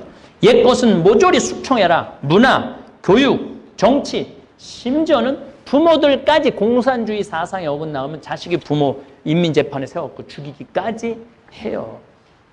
그러니까 중국이 지금 저렇게 비윤리적이고 아주 저급한 문화를 보이는 이유 중에 하나가 이 문화 대혁명 때문에 그래요. 근데 저거를 자기네들의 문제점을 알아야 되는데 예, 저 문제점을 모르는 거예요. 그 내가 보기엔 중국 사람들, 미국 사람들 따라가려면은 100년은 더 쫓아가야 돼요. 100년은. 우리나라 따라오려면 50년은 더 따라와야 되고. 왜냐하면 교육이라는 거는 100년이 시간이 걸리는 거거든요. 지금 윤리교육을 하려고 해도 윤리교육이 아, 안 돼. 왜냐하면 소황제를 들어봤죠? 왜냐하면은 아, 인구가 인간이 너무 많으니까 한 명만 낳게 한 거 아니야.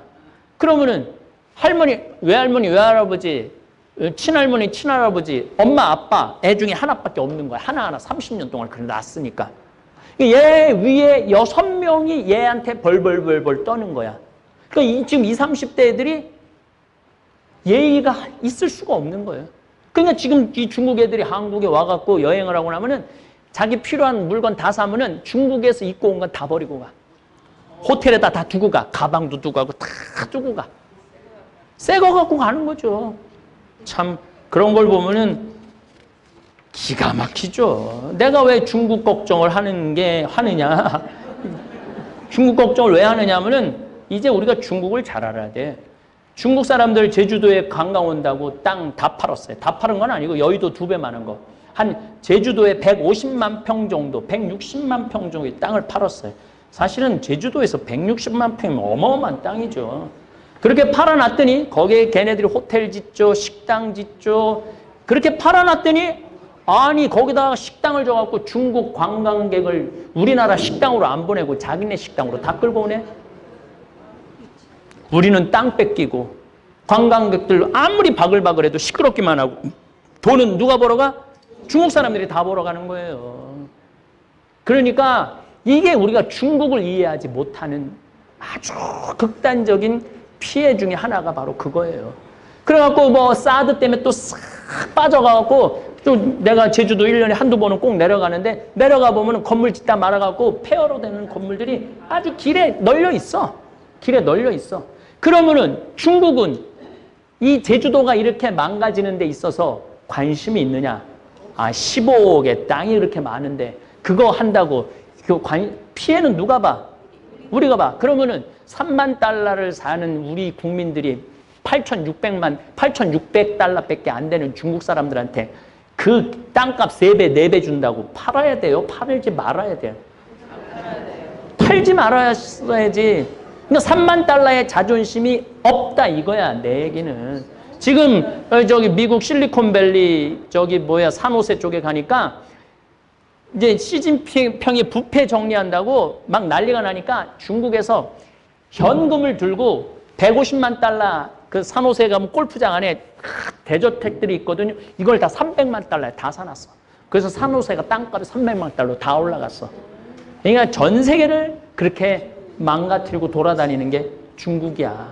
그러니까 이 중국 사람들을 제대로 알고 아니 우리나라가 그 땅 안 팔면은 굶어 죽는 나라도 아니고 그러니까 중국에서 지금 관광객이 다시 늘어난다 그러는데 저가로 들어오는 거는 하지 말아야 돼. 왜 3만 달러 소득 국민들이 만 달러 수준의 관광 그거를 하느냔 말이야. 우리가 수준을 높여놓고 수준 있는 사람들이 들어와 갖고 수준 있는 나라로 만들어야지. 그렇지 않아요? 맞아요. 그러니까 이걸 누가 의식을 가져야 되느냐 면 국민들이 의식을 가져야 되는 거예요. 그러려면 누구를 이해해야 되느냐면 중국을 이해를 해야 되는 거예요. 내가 이 장황하게 이거 요약하느냐고 어저께 밤부터 눈알이 막 튀어나오는 줄 알았어요. 그냥 얘기로 하면 좋은데 아 얘기로 하면 끝도 없이 뭐 양귀비 얘기 나오면 이게 서양 여자냐 동양 여자냐 또 16번째 아들의 뭐 며느리인데 며느리를 며느리를 취한 거거든. 어, 며느리를 취했다 뭐 이 얘기 저 얘기 하면은 이게 안 될 것 같다고 원고로 정해놨는데 어쨌거나 여러분들이 이제 3만 달러를 넘어섰으면은 우리나라 국민들 수준이 높은 거예요. 근데 그 8천 달러 사람들 막 그거 돈 뜯어 먹으려고 막 우리 자존심 버리지 말자 이거야 내 얘기는. 그리고 여러분들도 중국 여행 갈 때 20만 원짜리, 30만 원짜리 여행 가지 말고 만약에 100만 원짜리 갈 여행이 못 되면 가지 않으면 되잖아. 뭘 그렇게 때를 쓰고 여기저기 그냥 찍고 여기 찍고 저기 찍고 그거는 의미가 없어요. 3만 달러 정도 되면은 한 자리에서 일주일 정도 머무르는 여행을 하셔야 돼요. 이제는 이리 뛰고 저리 뛰고 그렇게 뛰어다니지 말고. 음. 하고 싶은 얘기는 너무너무 많지만 이 얘기를 이제 다음에 제가 여러분들한테 이야기하고 싶은 건 일본이에요. 일본 사람들은 그러면은 지금 거의 5만 달러 정도 되는데 5만 달러에 들어선 일본 나 일본 사람들 많이 만났어요. 많이 만나고 이야기도 많이 하고 일본 사람들 조금 배운 사람들 영어 수준 나하고 거의 똑같아. 어. 그래갖고 얘기가 돼. 일본 사람들이 영어 참 못하거든요. 그래서 얘기가 된다는 거예요. 달래 영어 되는 게 아니라. 근데 일본은 개인은 너무너무 훌륭해요. 사실은. 내가 만난 일본 사람들 다 정성스럽고 다정하고 겸손해요. 근데 그걸 합쳐놓으면 이상해지는 거예요. 그 왜 합쳐놓으면 이상해지는지는 내가 다음 주위의 소중한 분들에게도 공유해 주시면 좋을 것 같습니다. 한 번 더 들으시면 가슴에 더욱 새겨질 것입니다. 반복 재생합니다. 우리 신부님들도 그러시는데 오늘은 진짜 젊은 여자들이 많이 왔대요. 진짜 젊은 여자들이 날이 가면 갈수록 젊은 여자들이 많이 온다고 예, 엄청 좋아하시더라고요. 예. 아, 오늘은 아, 제가 아, 토요 특강을 하는데 3만 우리나라가 지금 3만 달러 시대가 넘었어요. 국민 5천만에 3만 달러. 이 시대를 살아가는 우리 국민들이 어떨 때 보면은 아직도 만 달러 수준을 생각하고 살아가는 국민들이 너무 많아요. 그래서 3만 달러 시대에 어떤 마음으로 살아가야 하는지 또 3만 달러 정도 소득이 되면 세계 정세를 읽을 줄 알아야 돼요. 아, 세계가 어떻게 흘러가고 있구나. 또 우리들의 생활 방식이 어떻게 바뀌어야 되는지 뭐 그 비근한 예로 3만 달러가 넘어서는 나라들을 보면은 대개 은퇴를 해서 아프리카에 한 번씩 갔다 와요. 1년 내지 2년 정도. 봉사활동 갔다 온다고. 왜냐하면 대개 연금들이 나오기 때문에 아직 내가 힘 있을 때 내가 그래서 미국이나 유럽에 가보면은 대개 어 신부님 저 1년 정도 가서 살다 왔습니다. 2년 정도 어 가서 살다 왔습니다. 그런 사람을 정말 많이 만나요. 근데 우리나라 국민들은 아직 그런 게 뭐가 뭔지를 아예 계획조차도 세우지 않고 있는 분들도 많은 거죠. 자신들의 삶의 방향, 그리고 이 3만 달러 시대의 복지 정책이 어떻게 바뀌는지도 모르는 분들 많아요. 제가 지난번에도 어, 한번 음, 강의 때 말씀드렸는데 지금 요즘 옛날에는 고아원이라고 하는데 요즘은 애육원이라고 그래요. 애육원. 근데 애육원에 거기 중고등학교에서 한 달 용돈이 20만 원이 나와요. 그리고 사계절 옷 사입으라고 또 20만 원씩 15만 원인가 나와요. 토요일 날 일요일 날은 외출도 돼요. 핸드폰도 다 쓸 수 있어요. 학원도 보내줘요. 과외도 보내 해줘요. 영어 수학은 과외까지 해줘요. 그러니까 국가에서 이제는 웬만하면은 많이들 지원을 해줘요. 그리고 또 여러분들도 마찬가지예요. 한부모 가정도 지원금이 많아요. 또 이제 65세 넘는 분들도 지난 4월 달부터 어, 하위 30% 30만 원씩 나오고 조금 있으면 대부분이 다 30만 원씩 나와요. 그러니까 이제 시대가 참 많이 변하고 있는데 문제는 내가 공부를 안 하는 게 문제예요. 그래서 이 토요 특강은 그런 의미에서 지금 이 시대를 살아가는데 배워야 될 것에 대한 말씀을 드리는데 특별히 오늘은 5천년 역사 가운데 우리나라 5천년 역사 가운데 뗄래야 뗄 수 없는 나라 이 중국 이 중국에 대해서 좀 장황하게 말씀을 드리고 싶습니다.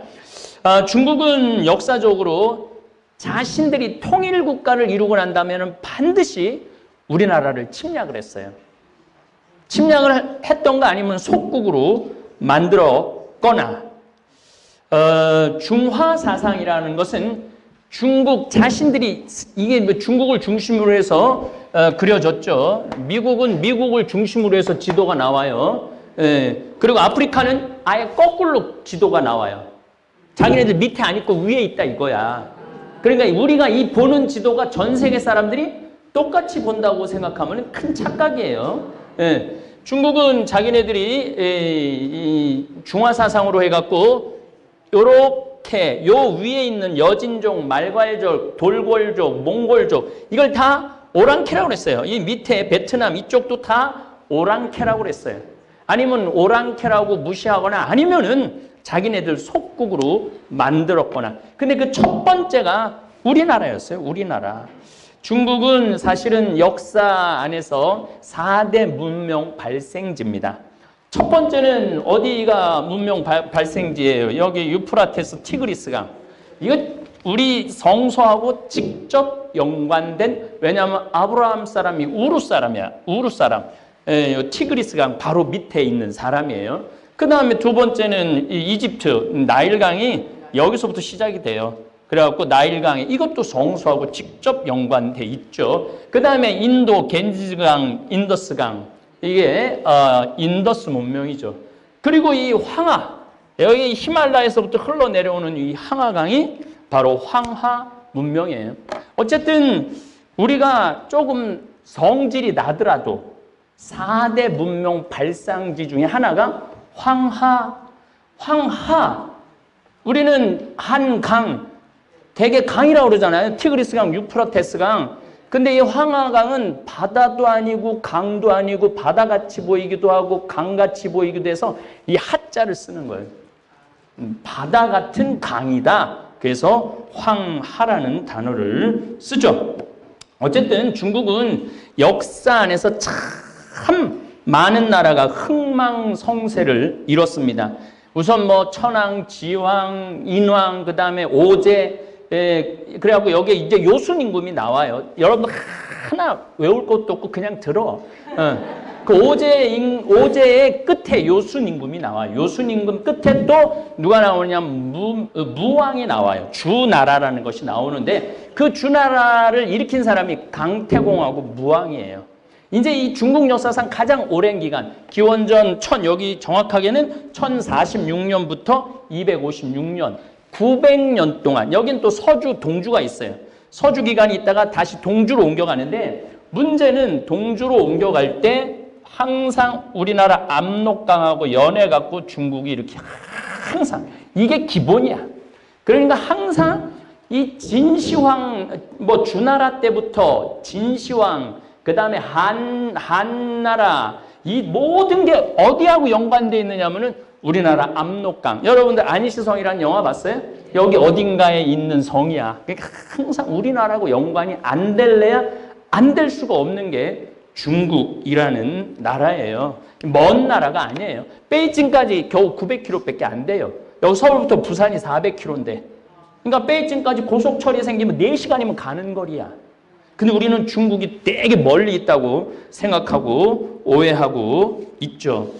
어쨌든 어, 주나라는 이한 500년 경부터 왕권이 약해져요. 그래갖고 이때부터 춘추 전국 시대가 시작이 돼요. 많이 들었죠? 춘추 전국 시대. 이건 사실 춘추 전국 시대가 중요한 게 아니라 제자 백가가 중요한 거예요. 제자 백가는 뭐냐면 공자, 맹자, 농자, 뭐 한비자, 뭐 순자, 뭐 무슨 뭐 하여튼 뭐 굉장히 법가 이 백가지의 이론이 나왔다. 그래서 제자 백가야.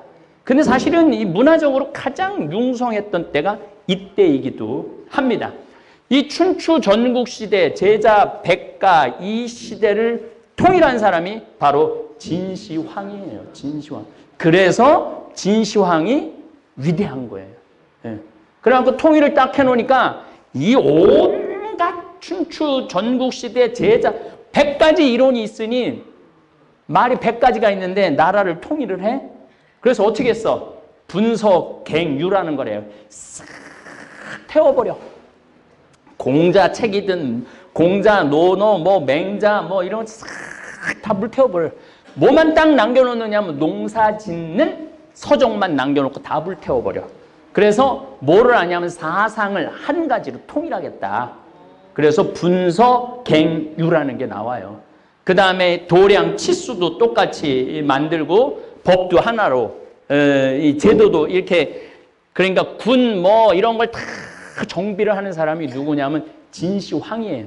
근데 문제는 이 진시황이 문제가 아방궁을 만들어 놓고 살았다는 거예요. 아방궁이 누구한테서 나온 거냐면 진시황한테 나오는 거예요. 그 다음에 또 문제는 만리장성을 쌓아요. 이놈은 우리나라부터 시작해갖고 이렇게 이 몽골까지 침략을 못하게 만리장성을 쌓는데 얼마나 많은 사... 그래서 그런 얘기 했잖아요. 거기 저기 뭐야 만리장성 쌓는데 사람 시체 하나씩 싸갖고 쌓아올린 거하고 마찬가지라고. 그러니까 너무 너무 힘들었던 거지.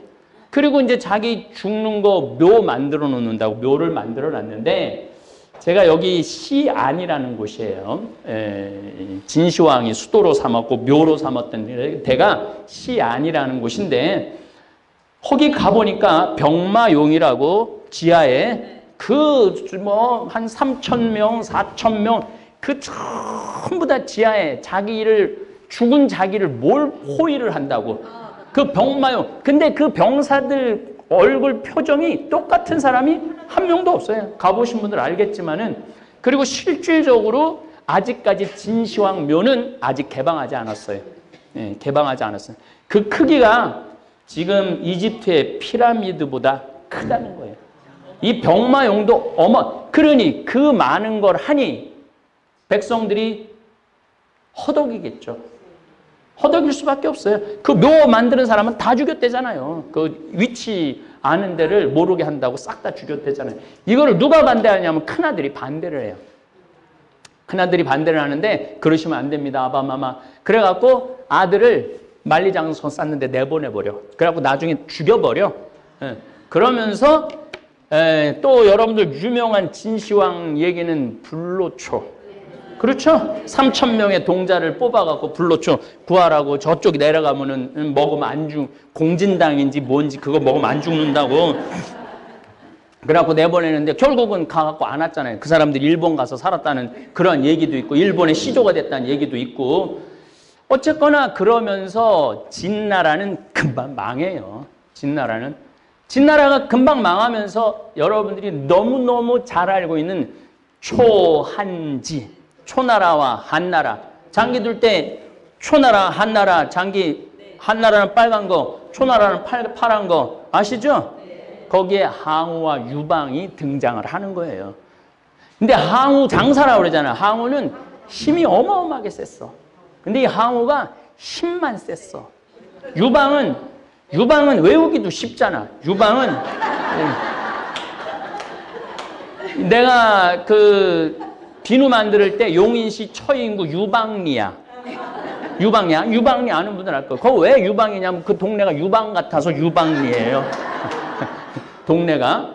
어쨌든 이 유방은 어쨌든 뭐 하여튼 굉장히 남의 말을 잘 듣는 사람이야. 장량과 한신이라는 이 책사의 말을 잘 들어요. 계속 어, 항우가 유리하다가 마지막에 이제 몰리죠. 자기 마음대로 하다가. 그래서 이제 강에, 가, 마지막 강에 딱 들어서서 아까 말씀드렸듯이 마지막 코너에 몰려요. 이랬을 때 배수진을 치자. 내가 힘으로는 누구든지 다 이길 수 있으니까 병사들한테 우리 저 한나라 놈들 이길 수 있다. 그래갖고 이제 결의를 하는데 아, 딱 공격하려고 보니까 눈빛이 다 살아있는 거야. 어, 우리가 덤벼들었다가는 아니 뭐 쥐, 쥐도 궁지에 몰리면 고양이를 문대는데 우리가 아무리 지금 군사수로 우수하지만 안 되겠다. 한신이 건의를 해요. 유방한테. 하루 참자고. 그래서 바로 안 몰고 기다려. 기다렸는데 이 한신이 그런 말을 하는 거예요. 초나라 혹시 예, 이따가 온 군사들이 있으면 전부 다 불러오라고. 너희들 초나라 노래를 아느냐? 안다고. 그 앞에서 아주 구성지게 노래를 하는 거야. 그러니까 이 도끼를 품었던 초나라 군사들이 막 고향 생각나고 우는 거야. 이게 바로 사면 초 가야. 사면에서 초나라 노래가 흘러나온다. 그래서 결국은 아, 항우가 내가 도저히 이길 수가 없구나. 그래서 자결을 하죠. 자기 애첩이랑. 그래갖고 탄생된 나라가 한나라야, 한나라. 여러분들 중국 사람들 한족 한족 그러잖아요. 그러니까 이게 이제 한나라가 중국의 기본이 되는 거죠. 한나라는 처음에 잘 나갔어요. 에, 잘 나갔는데 시간이 지나면 지날수록 관료들이 부패를 하고 십상시 이거 어서 많이 들었던 얘기죠. 몇 년 전에 에, 한관들 10명이 황제를 주물르는 거야. 심지어 영제라고 병약한 환자가 있었는데 죽고 난 다음에 그 다음 황제를 자기네들 마음대로 막 고르는 거야. 그러니까 이거 안 되겠다. 그래서 중국에는 황건적이 있고 홍건적이 있어요. 황건적은 바로 삼국시대가 열리기, 이제 조, 위초고라고 조조, 유비, 손곤으로 하는 삼국시대 전에 들고 일어나는 건 황건적이야. 그 다음 명나라를 탄생시킨 건 홍건적이에요. 근데 황건적이 들고 일어나요. 막 들고 일어나니까 동탁이 아 십상시도 쳐부수시고 황건적도 쳐부셔야 되겠다 그래서 들어와갖고 어, 정권을 잡죠. 근데 이 동탁이 처음에는 좋은 다 처음에는 다 좋은 마음으로 들어와. 우리나라 대통령도 처음 할 땐 다 좋다가 마지막에 다 무너지는 거예요. 그래서 이게 처음부터 똑같이 항상심이라고 그래. 처음부터 끝까지 마음이 항상 똑같은 거. 이거 유지하는 게 우리 인생이 쉽지 않아요. 여러분들이나 저나 이 항상심을 유지한다는 게 참 어려운 거예요. 어쨌거나 이 동탁을 죽여야 되겠다. 아, 그래갖고 동탁을 몰아내죠. 그리고 이제 펼쳐지는 게 우리가 그 유명한 삼국시대 이야기가 시작되는 거예요. 위초고, 장비, 관우, 뭐 여포, 아버지 동탁 죽이려고 그러는 여포, 뭐 이런 얘기를 여러분 쭉 중국이 이렇게 흘러나가죠. 어쨌든 사실은 조조가 결국은 삼국을 통일하지 못해요. 유비가 굉장히 삼국지에서는 주인공으로 나오지만은 조조가 굉장히 현명하고 똑똑한 사람이었다 그래요. 결국은 사마의가 통일의 시작을 하고 그 손자 사마진이 삼국을 통일을 하죠. 근데 이 사마진이 이 통일을 하고 이 나라를 잘 유지하다가 또 한 2, 300년 지나가고 난 다음에 또 중국은 항상 그래요. 아주 어처구니 없이 나라가 망해요. 600년, 지금부터가 아주 중요해요. 600년경에 수나라가 어, 나라를 통일을 다시 해요. 수나라가 나라를 통일하는데 이 수양제는 어떻게 하느냐면은 이 나라를 이제 다 통일하고 힘도 좀 남고 그러니까 어딜 쳐야 된다? 만주를 휘어잡고 있는 고구려를 쳐야 된다. 그래갖고 고구려로 쳐들어와요. 그런데 세 번을 쳐들어오는데 우리 을지문덕, 이 을주문덕한테 당해갖고 이 수나라는 40년을 못 가요. 근데 을지는 사실은 이게 우리나라 성이 아니라 여진족 성이에요. 제가 제가 말씀을 드렸는데 내가 토요특강 못 들었으면은 못하죠. 여진족은 사실 우리 지금 음, 탈북 주민이 여기 있는데 신의주에서 탈북을 했는데 아직도 여진족하고 같이 산대요. 북한에서도 여진족은 따로 관리를 한대. 여진족이라고. 그러니까 여진족 사람들은 이 고구려하고 신라하고 그래서 싸웠을 때 통역관을 데리고 나왔대잖아요. 그러니까 이 우리가 생각하는 고구려는 우리 말을 같이 쓰지는 않고 그 여진족 쪽, 음, 만주족 언어를 썼어요. 근데 우리도 지금 만주족 사람들하고 한 6개월만 같이 있으면 의사소통이 된대요. 그렇게 비슷한 말이 많대요. 어쨌거나 하여튼 을지 문덕 장군 때문에 수나라는 그 40년밖에 못하고 망하죠. 그 다음에 이제 이, 이 당나라, 이 기가 막힌 당나라가 어, 등장을 하죠. 당나라는 우리 신라, 신라하고 당나라하고 연합을 해서 고구려를 무너뜨리죠. 그러니까 제가 여러분들 말씀드릴 이 중국은요, 우리랑 뗄래야 뗄 수가 없는 나라야. 우리 정세에 항상 영향을 미쳐. 근데 신라가 통일을 하면서 이만큼을 당나라한테 줘버려요. 그러니까 원래 우리 땅 여기까지 있었는데 반 이상을 줘버린 거야. 그러니까 사실은 신라가 통일하지 말아야 되고 누가 통일을 했어야 돼?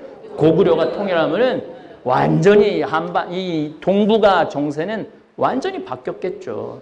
근데 어쨌든 신라가 통일을 했어요. 그래서 어떨 때 보면은 내가 나도 경상도 사람이지만은 마음에 안 들 때가 많아요. 마음에 안 들 때가. 예. 어쨌든 이 당나라 시대 때는 전쟁이 없었던 시대예요. 중국 역사에 보면. 그래서 당나라 군인들은 거의 훈련을 안 해요. 그래서 좀 현찮은 군인을 보면은 니네들 당나라 군대냐? 이렇게 말하는 게 바로 여기서 나와요. 여기에서 이제 알록산 그 양귀비가 등장을 하죠. 현종. 그때까지만 해도 당나라는 시안, 이 현종이 시안은 아까 누구 이 진시황 묘가 있었다고 그랬죠. 그런데 이 시안에는 현종의 별장이 있었어요. 거기 온천이 나와.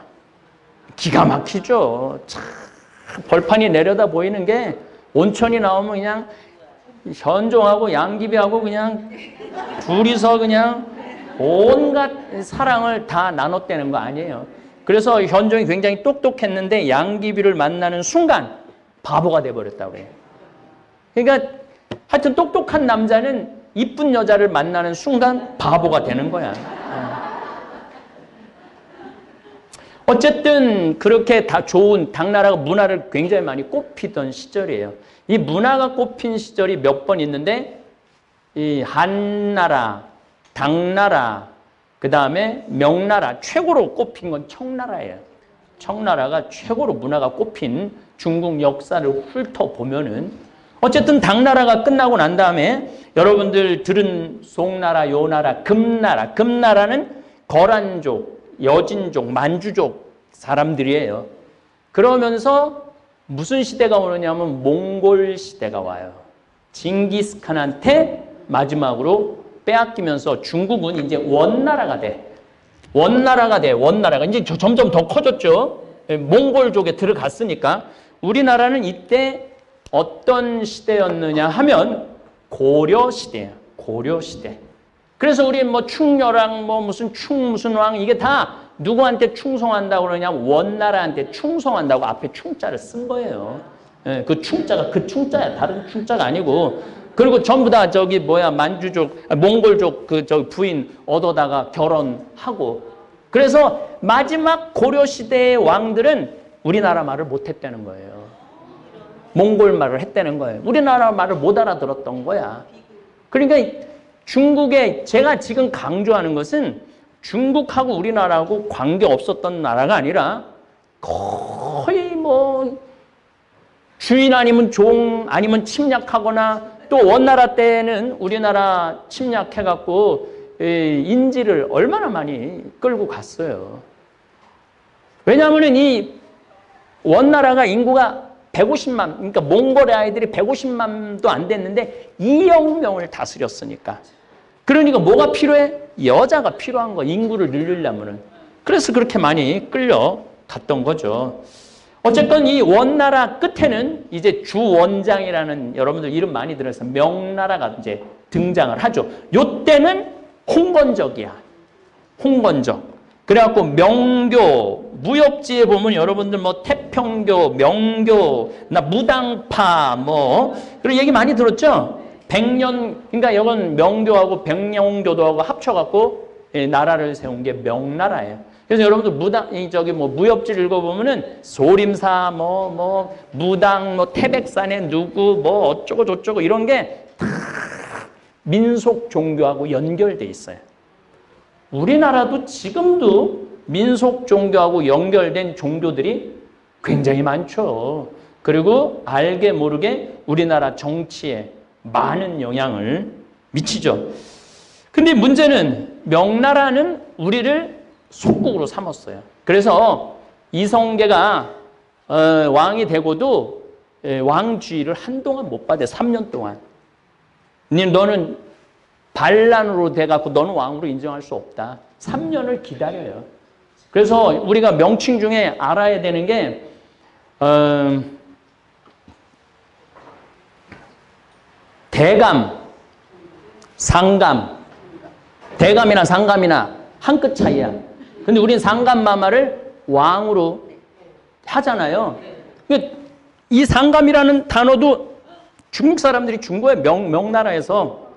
음, 우리는 감히 황제라는 단어도 못 썼고 왕이라는 칭호도 누가 내려줘야 돼? 왕이라는 칭호도 명나라가 내려줘야 돼. 이 칭호도. 근데 이 명나라 시대 1592년에 어떤 일이 벌어지느냐면 임진왜란이 벌어져요. 임진왜란이. 임진왜란이 벌어지고 이제 막 거의 뭐 왕이 막 압록강 앞까지 도망을 가니까 이 명나라에서 이여성 장군을 보내갖고 오만을 보내갖고 전쟁을 하죠. 요거는 내가 예전에 강의 때 한 시간에 걸쳐서 강의 한 내용이 있어요. 아주 리얼하고 재미나게 얘기를 해줬는데 이때 명나라가 저 밑에 부산까지 내몰고 일본까지 밀고 갔으면 명나라는 안 망했어요. 그런데 이 바로 한양을 탈환하고부터 뭘 하느냐면은 휴전을 제의를 해요.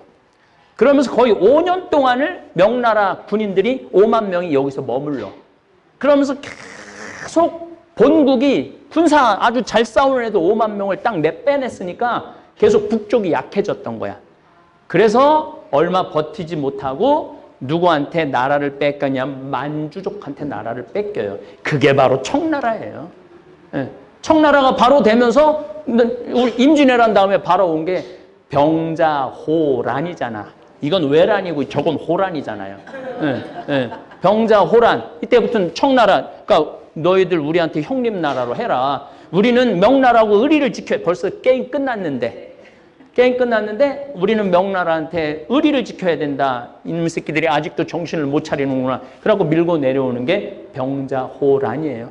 그때 뭐 역사학자들마다 인원수가 다르지만 우리나라 여자 남자는 거의 안 데려가고 여, 그때도 150만 명의 만주족이 1억 명의 1억 5천만 명의 한족을 지배했다는 거예요. 그러니까 중국 사람들이 무서울 게 아니야. 조금만 하면은 먹을 수가 있어. 내가 늘 얘기했지만 일본도 만주까지 먹었어요. 일본도 영국도 아까 영국 그려달라고 그러니 영국도 아편 전쟁으로 중국 거의 먹어갖고 항복해갖고 홍콩하고 여기저기 내줬잖아요. 저기 뭐야 홍콩하고 그 뭐야 그 저 카지노 있는데 마카오를 내줬잖아요. 100년 쓰라고. 그런데 만주도 중국을 먹었고 몽고도 중국을 먹었고 일본도 중국을 먹었는데 우리나라만 중국을 못 먹은 거예요. 그러니까 조금만 정신 차리면은 먹을 수도 있다는 얘기죠. 네. 너무 위험한 발언을 했나?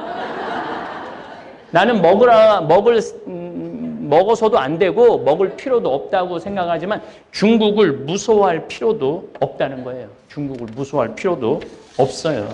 어쨌거나 이 청나라는 이렇게 지금 여러분들 4천 년을 지금 25분에 지금 배우고 있는 거예요. 음. 어쨌거나 하여튼 어, 이 청나라는 정말로 문화적으로 융성했던 나라예요.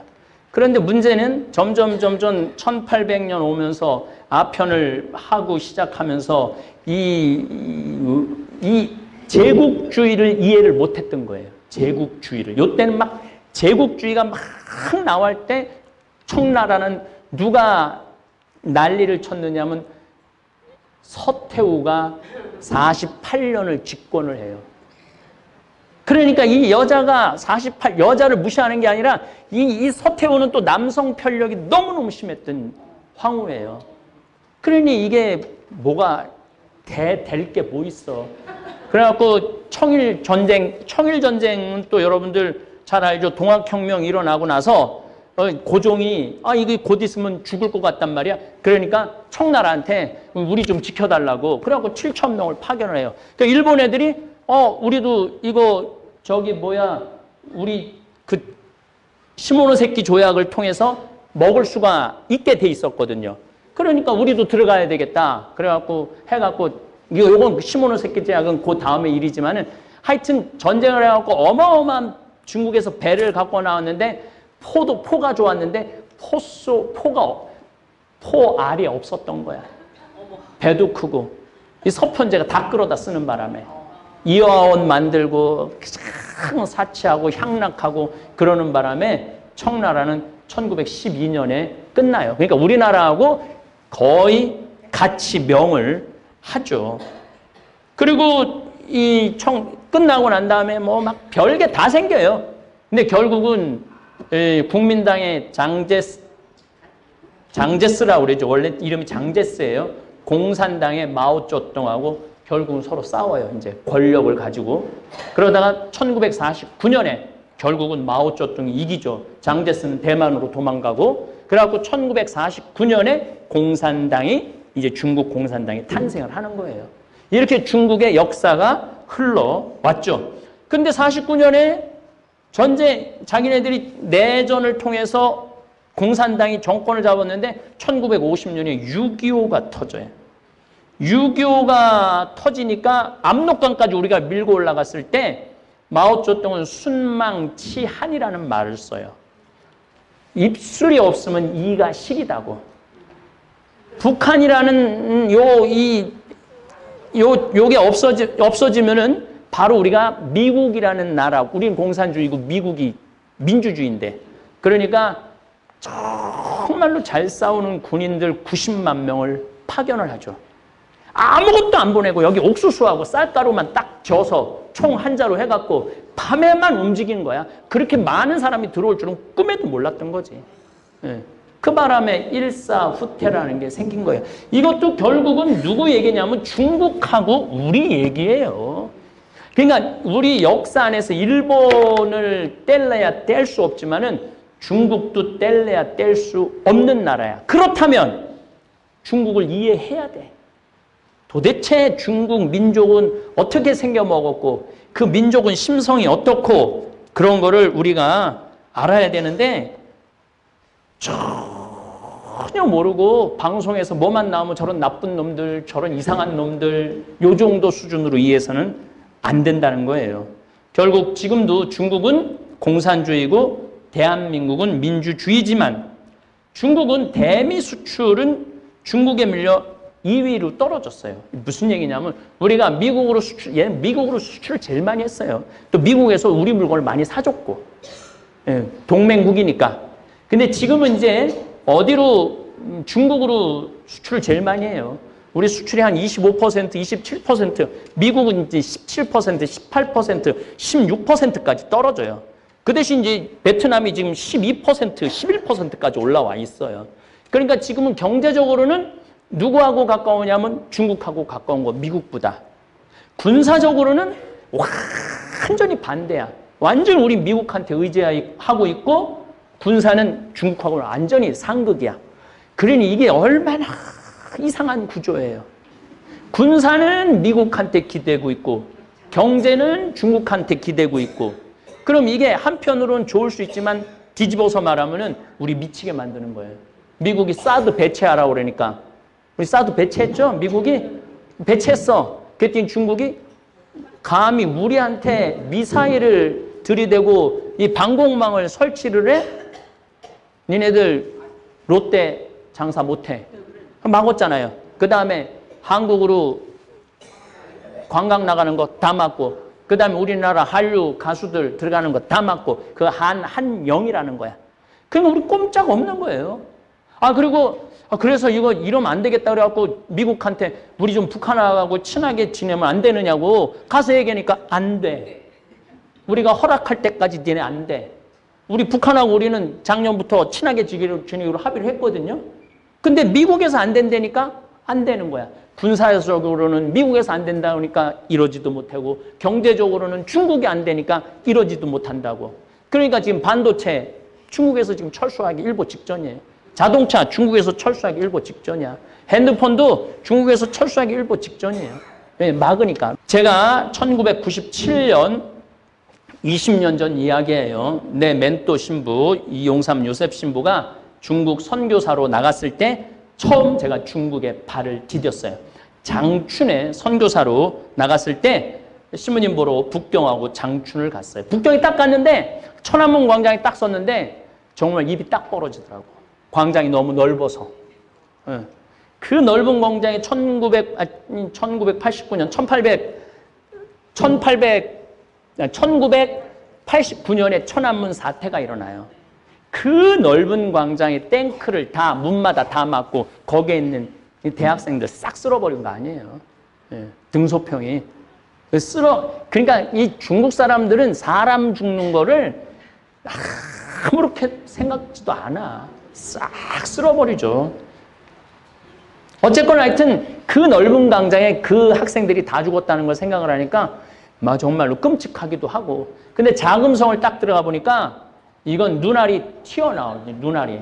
너무너무 크고 너무너무 화려하니까. 그래서 중국 대단하다. 그렇게 생각을 했어요. 그런데 이제 한 며칠을 생활하고 자금성 구경하다 너무 오줌이 마려웠고 공동 화장실 딱 들어갔는데 깜짝 놀랐어요. 전부 다 남자고 여자고 쳐다보는 거 나를 내가 오... 근데 뭐 나만이 아니라 줄 서는 사람이 뒤에 뭐 20명, 30명 아예 문짝이 없어. 어. 그냥 어떤 화장실은 그냥 다 엉덩이 까고 다 앉아서 그냥 일을 보는 거야. 그리고 거기 이렇게 쭉 물이 물이 흘러 내려가 똥 싸면 쫙 흘러 내려가. 문짝이 없는 그 대단한 자금성을 만들어 놓고 화장실에 문짝이 없는 거야. 그래서 관광객들이 하도 막 난리를 치고 뭐 막 화장실로 가리고 막 옷으로 가리고 선글라스로 가리고 이러니까 중국에서 문짝을 만들었어요. 만들었는데 금방 다 부셔졌대. 왜냐하면 기다리는 사람은 많은데 들어가면 잘 안 나오니까. 중국 사람들은 그걸 못 견디거든. 안 나오는 걸. 지금 급해 죽겠는데. 그러니까 문짝을 발로 차고 뜯어내는 거야. 빨리 나오라고. 이게 중국 사람들의 또 한 면이에요. 예. 이게 사람이 많으면은요 무식해지게 돼 있는 거예요. 사람이 많으면 거칠어지게 돼 있는 거예요. 그러니까 중국 사람들은 굉장히 거칠고 무식, 무식한 건내좀 이따 또 얘기를 할게요. 중국이 얼마나 무식한 세월을 보냈는지. 그리고 이제 장춘 가는 비, 기차를 탔는데 또 놀랬어.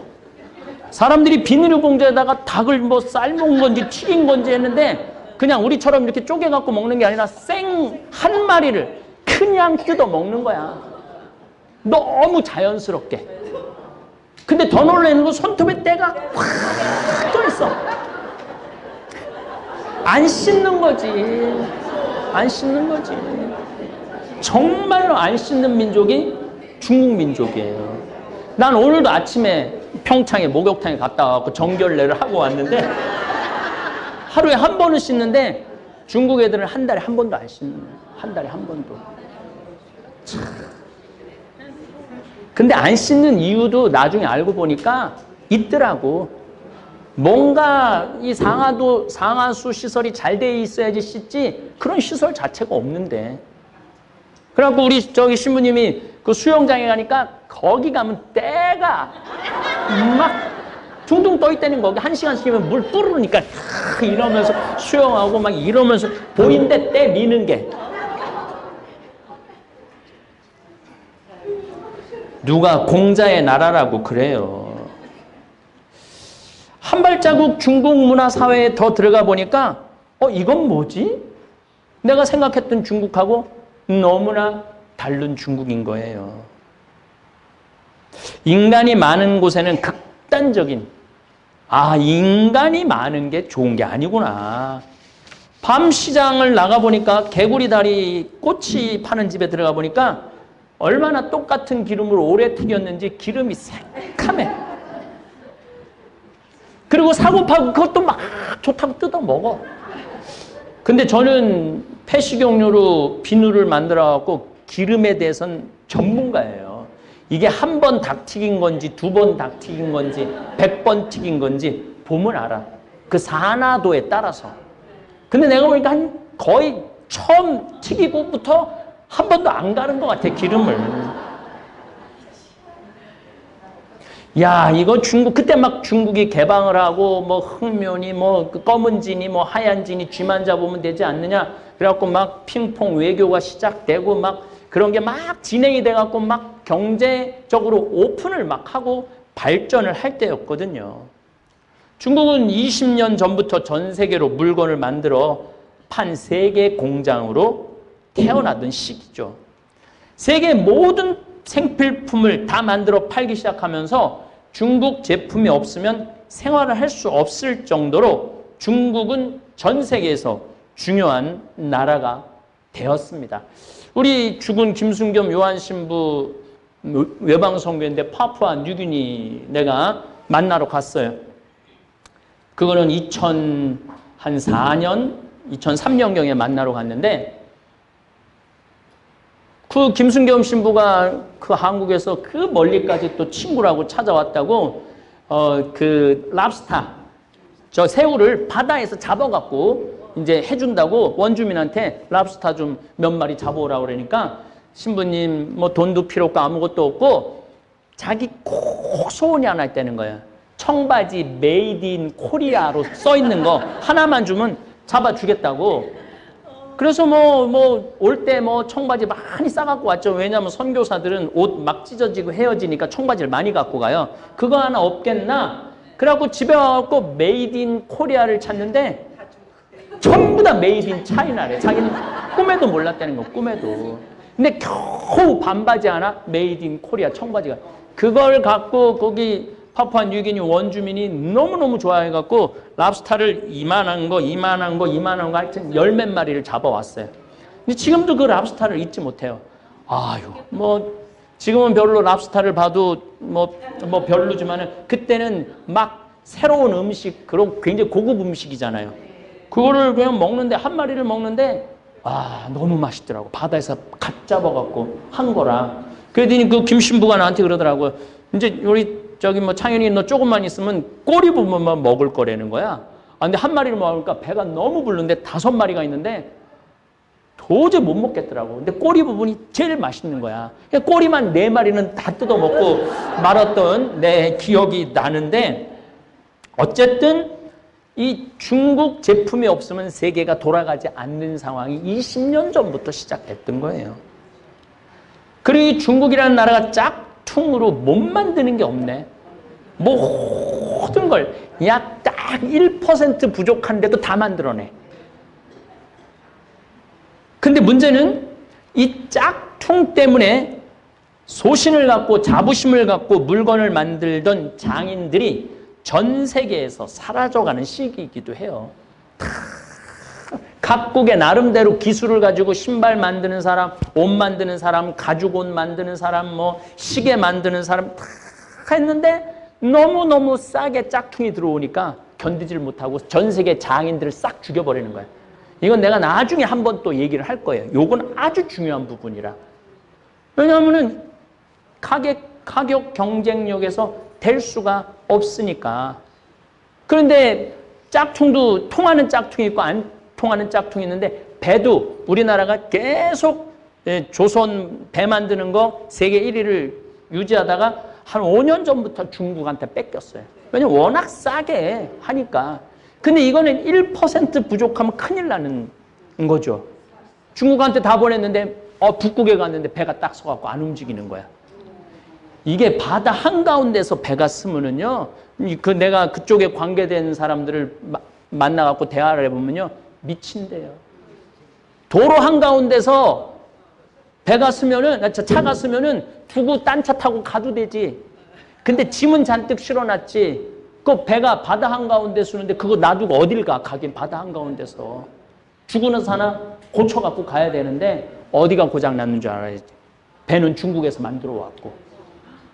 그래서 작년, 재작년에 그 중간에 쓰는 배들이 너무 많아갖고 작년부터 다시 한국으로 수주가 돌아오기 시작한 거죠.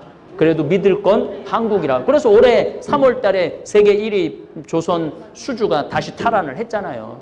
예. 박수 칠 일이 아니에요. 그 5년 동안 우리나라 조선소들은 구조조정이 들어갔고 울산, 통영, 옥포, 거제, 군산, 여수 수많은 조선소들이 문을 닫거나 일거리, 일거리가 없어서 고전을 하고 있고 고통을 겪은 거야. 그러니까 결국은 돌아 돌아보면 결국 누구 때문에 이 고통을 겪고 있느냐면 중국 때문에 고통을 겪는 거야. 뭐 중국 때문에 수출이 잘 돼갖고 뭐, 뭐 우리나라가 살만하니 어쩌고 저쩌고 해도 그 나중에 뒤집어 보면은 중국 때문에 고통을 겪고 있는 거예요. 저는 가장 저에게 그 놀람과 충격의 나라 10년 전으로 거슬러 올라가겠습니다. 어, 진시황 무동과 병마용 또 당 현종의 양귀비 사랑이 묻어 있는 도시 시연을 둘러보았을 때, 야 엄청 발전했구나. 한 번은 식당에 들어갔는데 프랑 중국 식당 얘기하는 거예요. 프랑스 베르사유 궁전하고 똑같은 모양으로 식당을 만들어 놨어. 유리 궁전도 있고. 그러니까 걔네들은 하여튼 뭘 똑같이 만드는데 귀신이야. 그 통이 커. 아, 우리가 어떻게 감히 베르사유 궁전을 똑같이 한국에다 만들 생각을 해요. 그럼 그걸 식당으로 운영하고 있더라고요. 식당으로. 근데 뭐 거기서 밥을 먹으면서도 뭔가 1% 부족하다. 내가 베르사유 궁전도 갔다 와봤거든요. 근데 거기 베르사유랑 중국에 있는 베르사유랑 뭔가 1% 부족하다. 근데 요즘은 아예 프랑스 유명한 마을, 스위스 마을 같이 아예 유럽 관광지하고 똑같은 곳을 만들어 놓아서 비싼 돈 들여서 유럽까지 가지 말고 그냥 여기 똑같은 데로 와라. 이렇게 만들어 놓은 데도 아주 많다는 거예요. 그리고 이제 제가 실크로드가 시작되는 곳이기도 하면서 칠채산이라고 산 색깔이 일곱 개 있어요. 칠채산이라고 무지개산이라고 거기는 아주 중국 서안 아주 맨 끝에 카자흐스탄, 우즈베키스탄 들어가는 초입 부분이에요. 거길 가봤는데 거기까지 가는데도 비행기도 타고 차도 엄청 타고 가죠. 나 거기 가보고 잠비아 가는 줄 알았어요. 얼마나 가난한지. 거의 토굴에서 살아, 토굴에서. 근데 그렇게 토굴에서 사는 인구가 5억 명이라는 거예요. 근데 거기 불을, 거 얼마나 또 추워. 불을 떼는데 전부 갈탄을 떼는 거야. 갈탄을 떼니까 굴, 굴뚝마다 싹하만 갈탄 탄 그게 나오는 거야. 그걸 보면서 야 겨울에 저걸 때문에 저 미세먼지가 다 한국으로 올 텐데 그게 내가 10년 전 일이에요. 근데 여러분들 미세먼지 시작된 게 10년 전이야. 10년 전. 현재 6억 5천만 명의 가난한 농민들은 최저 빈민국 신세로 살고 있는 게 중국이에요. 아니 중국 사람들은 해외여행할 때 돈 팡팡 100달러 100달러짜리 이렇게 하면 만 달러 정도 되거든요. 그래갖고 막 무슨 뭐 구찌 뭐뭐 이런 거뭐뭐 산다고 막 그러는데 어, 그 사람들은 어떤 사람? 그 사람들은 다 공산당 사람들이에요. 공산당원이 중국에 8,500만 명이에요. 그 다음에 공산당하고 연결된 사업을 하는 사람들. 그 다 상하이, 산둥반도 이쪽에 사는 자, 이제 중국을 좀 이해를 하면은 요렇게 붙어 사는 사람들은 다 잘 살아요. 우리나라를 중심으로 산둥반도 요 밑에 예, 요쪽에 있는 사람들은 다 잘 살아요. 예, 베이징이 아까 900콜이라고 그랬죠? 요 라인에 있는 사람들은 다 잘 살아. 반대 뭐 티베트는 나중에 이 공산 1954년에 여기를 합병을 하죠. 이 요때 막 6.25 전쟁하고 정신 없을 때 요럴 때 막 다 뺏어 와요. 예. 그래갖고 중국이 엄청 커졌죠. 이 내륙 지방 사람들은 거지로 사는 거야. 거지로. 그리고 제가 여기 산동반도 이쪽에 가서도 강의를 많이 했었는데 거기는요 유럽 유럽 같아요. 얼마나 건물을 잘 줘놓고 사는지. 그러니까 중국의 빈부 격차는 우리 한국 사람들이 생각하는 것보다 훨씬 크죠. 중국은 지금 국민 소득이 8,600달러, 1인당 국민 소득이 8,600달러. 우리는 3만 1,000달러. 우리가 중국보다 훨씬 잘 살죠? 네, 중국 무서워할 게 뭐 있어? 무서워할 필요도 없죠. 문제는 인구가 15억 명이기 때문에 G2, Great 투라는 거예요. 위대한 나라 둘 중국이 결코 물- 무시할 수 없는 나라죠. 저는 이제 5년 전부터 중국 여행을 더 이상 가지 않기로 결심을 했어요. 왜냐하면은 한 6, 7년 전에 우리 생태마을 직원들을 데리고 장각의 여행을 갔는데 중국 사람들이 좀 나졌는 줄 알았더니 길에다 침 뱉고 소리 지르고 특별히 우리 직원들 태운 관광버스가 거기까지 한번 다섯 시간인가 갔었는데 반 이상을 중앙선을 넘어서 가는 거예요. 반 이상을. 어, 내가 이런 생각이 들더라고요. 우리 귀한 직원들 중국에 데리고 와서 죽이겠구나. 그래서 내가 아니 내 돈 내고 내가 여행 가는데 내가 사람 대접 못 받는 그 나라를 내가 왜 가? 안 그래도 돌아다닐 나라가 많은데. 그래서 그 후로 우리 직원들 데리고 어, 음, 유럽 여행 갔다 오고 그 호주 뉴질랜드 갔다 오고 내년에는 어, 올해는 미국 여행 갔다 오고 후년에는 마추픽추 갔다 와요. 내가 남미도 갔다 와봤는데 거 굉장히 사람을 존중해요. 가난한 나라지만은 중국처럼 사람을 무시하는 나라가 없어요. 이 중화 사상 때문에 그래요. 다른 사람들은 다 미개하고 그러니까 소크라테스 말대로 자기 자신은 모르고 사는 거예요. 자기 자신은 예. 나는 공자의 나라라고 생각이 안 들어요. 사실 또 얘네들은 공자가 누군지도 몰라요. 예. 예. 실질적으로 일단 하여튼 이, 이 중국이 베이징 쪽에 공장이 많았는데 지금은 산둥반도로 공장을 다 옮겨요. 왜냐하면은 여기 막 스모그가 너무 일어나니까 안 되겠는 거야. 그래서 이쪽에 원자력 발전소, 무슨 공장, 화력 발전소 다 산둥반도, 홍콩 이쪽으로 다 옮기고 있어요. 그래갖고 11월 달만 되면은 그 미세먼지가 우리나라로 날라오는 거예요. 그러면은 70% 원인이 중국한테 있어요. 우리나라한테는 30%밖에 없고 그러면은 이게 굴뚝에다 징집 장치라는 걸 해놔갖고 조금 좀 이렇게 한 20m, 30m 올라가면 없어지는 시설. 그거 20m, 30m 하얀 연기 나온 거는 징집 장치로 물을 다 떨어뜨려갖고 그래도 깨끗한 수증기가 나오는 거야. 그 2, 30m 하얀 연기 나오는 건 괜찮아요. 근데 막 새카만 연기가 나오면은 100m만 올라가면은 여러분들 인천공항에서 비행기 타면 산둥반도까지 가는데 걸리는 시간 30분밖에 안 걸려요. 바로 코앞이야. 코앞에 우리 지금 공장을 놓고 살고 있는 거야. 그럼 중국이라는 나라가 윤리가 있어갖고 아 우리가 그럼 징집 장치를 설치하겠습니다. 라고 말할 일은 절대 없다는 거예요.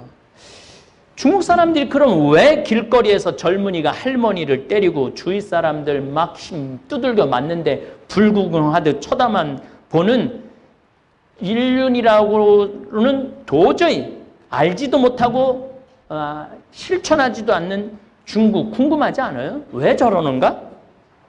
한국의 관광 온 중국 관광객들 제가 여러 번 목욕탕에서 만났는데 정말 시끄러워요. 얼마나 시끄럽게 떠드는지 몰라요. 아, 완전 자기네들 목욕탕 자기네들이 산 것 같이. 중화민국이 그런 거죠. 중화민국이. 자기가 그렇게 떠들어대면 주위 사람들 방해하고 모욕한다는 생각을 전혀 하지 않는 사람들입니다. 심지어 비행기 안에서 자기 무시당했다고 승무원한테 뜨거운 물 뿌리고 도대체 중국 사람들 왜 이렇게 무식할까? 심지어 비행기 안에서 난투구까지 버리고 늦게 출발했다고 막 비상문 막문 열어 막 승질 난다고 자기네들. 아니 그런 거 여러분들 뉴스에 거의 매일 나온다고 봐야 돼요. 지난번에는 뭐 스페인에 가갖고 어? 막 쫓겨났다고 들어 넣어갖고 중국에서 막 물, 물어내라고 보니까 제 날짜에 오지도 않고 그 쇼파에서 하룻밤 자게 해달라고 생떼를 쓴 거죠. 우리나라에서만 생떼를 쓰는 게 아니라 전 세계 돌아다니면서 생떼를 쓰는 거죠. 사실 우리도 2, 30년 전에 대한민국도 외국에 나가서 그랬어요. 그래서 나 한국 사람 만나면 너무너무 창피할 때 많았어요. 응. 한국 사람들 만날 때 우리가 막 만 달러 소득 넘어가고 여행 자유화와 90년대 초 하늘문이 열리면서 동남아로 유럽으로 쏟아져 나갈 때 외국인들 보기에 미, 정말 한국 사람들 수준 떨어진다고 손가락질 많이 받았어요. 예, 그걸 지금 중국 사람들이 다 받고 있는 거지. 현재 3만 달러를 넘어서서 조금은 이제 그런 추태가 없어지고 교양이 생기고 워낙 중국 애들이 난리를 치니까 한국 사람들이 뒤에서 구경하느냐고 추태를 부릴 시간이 없어.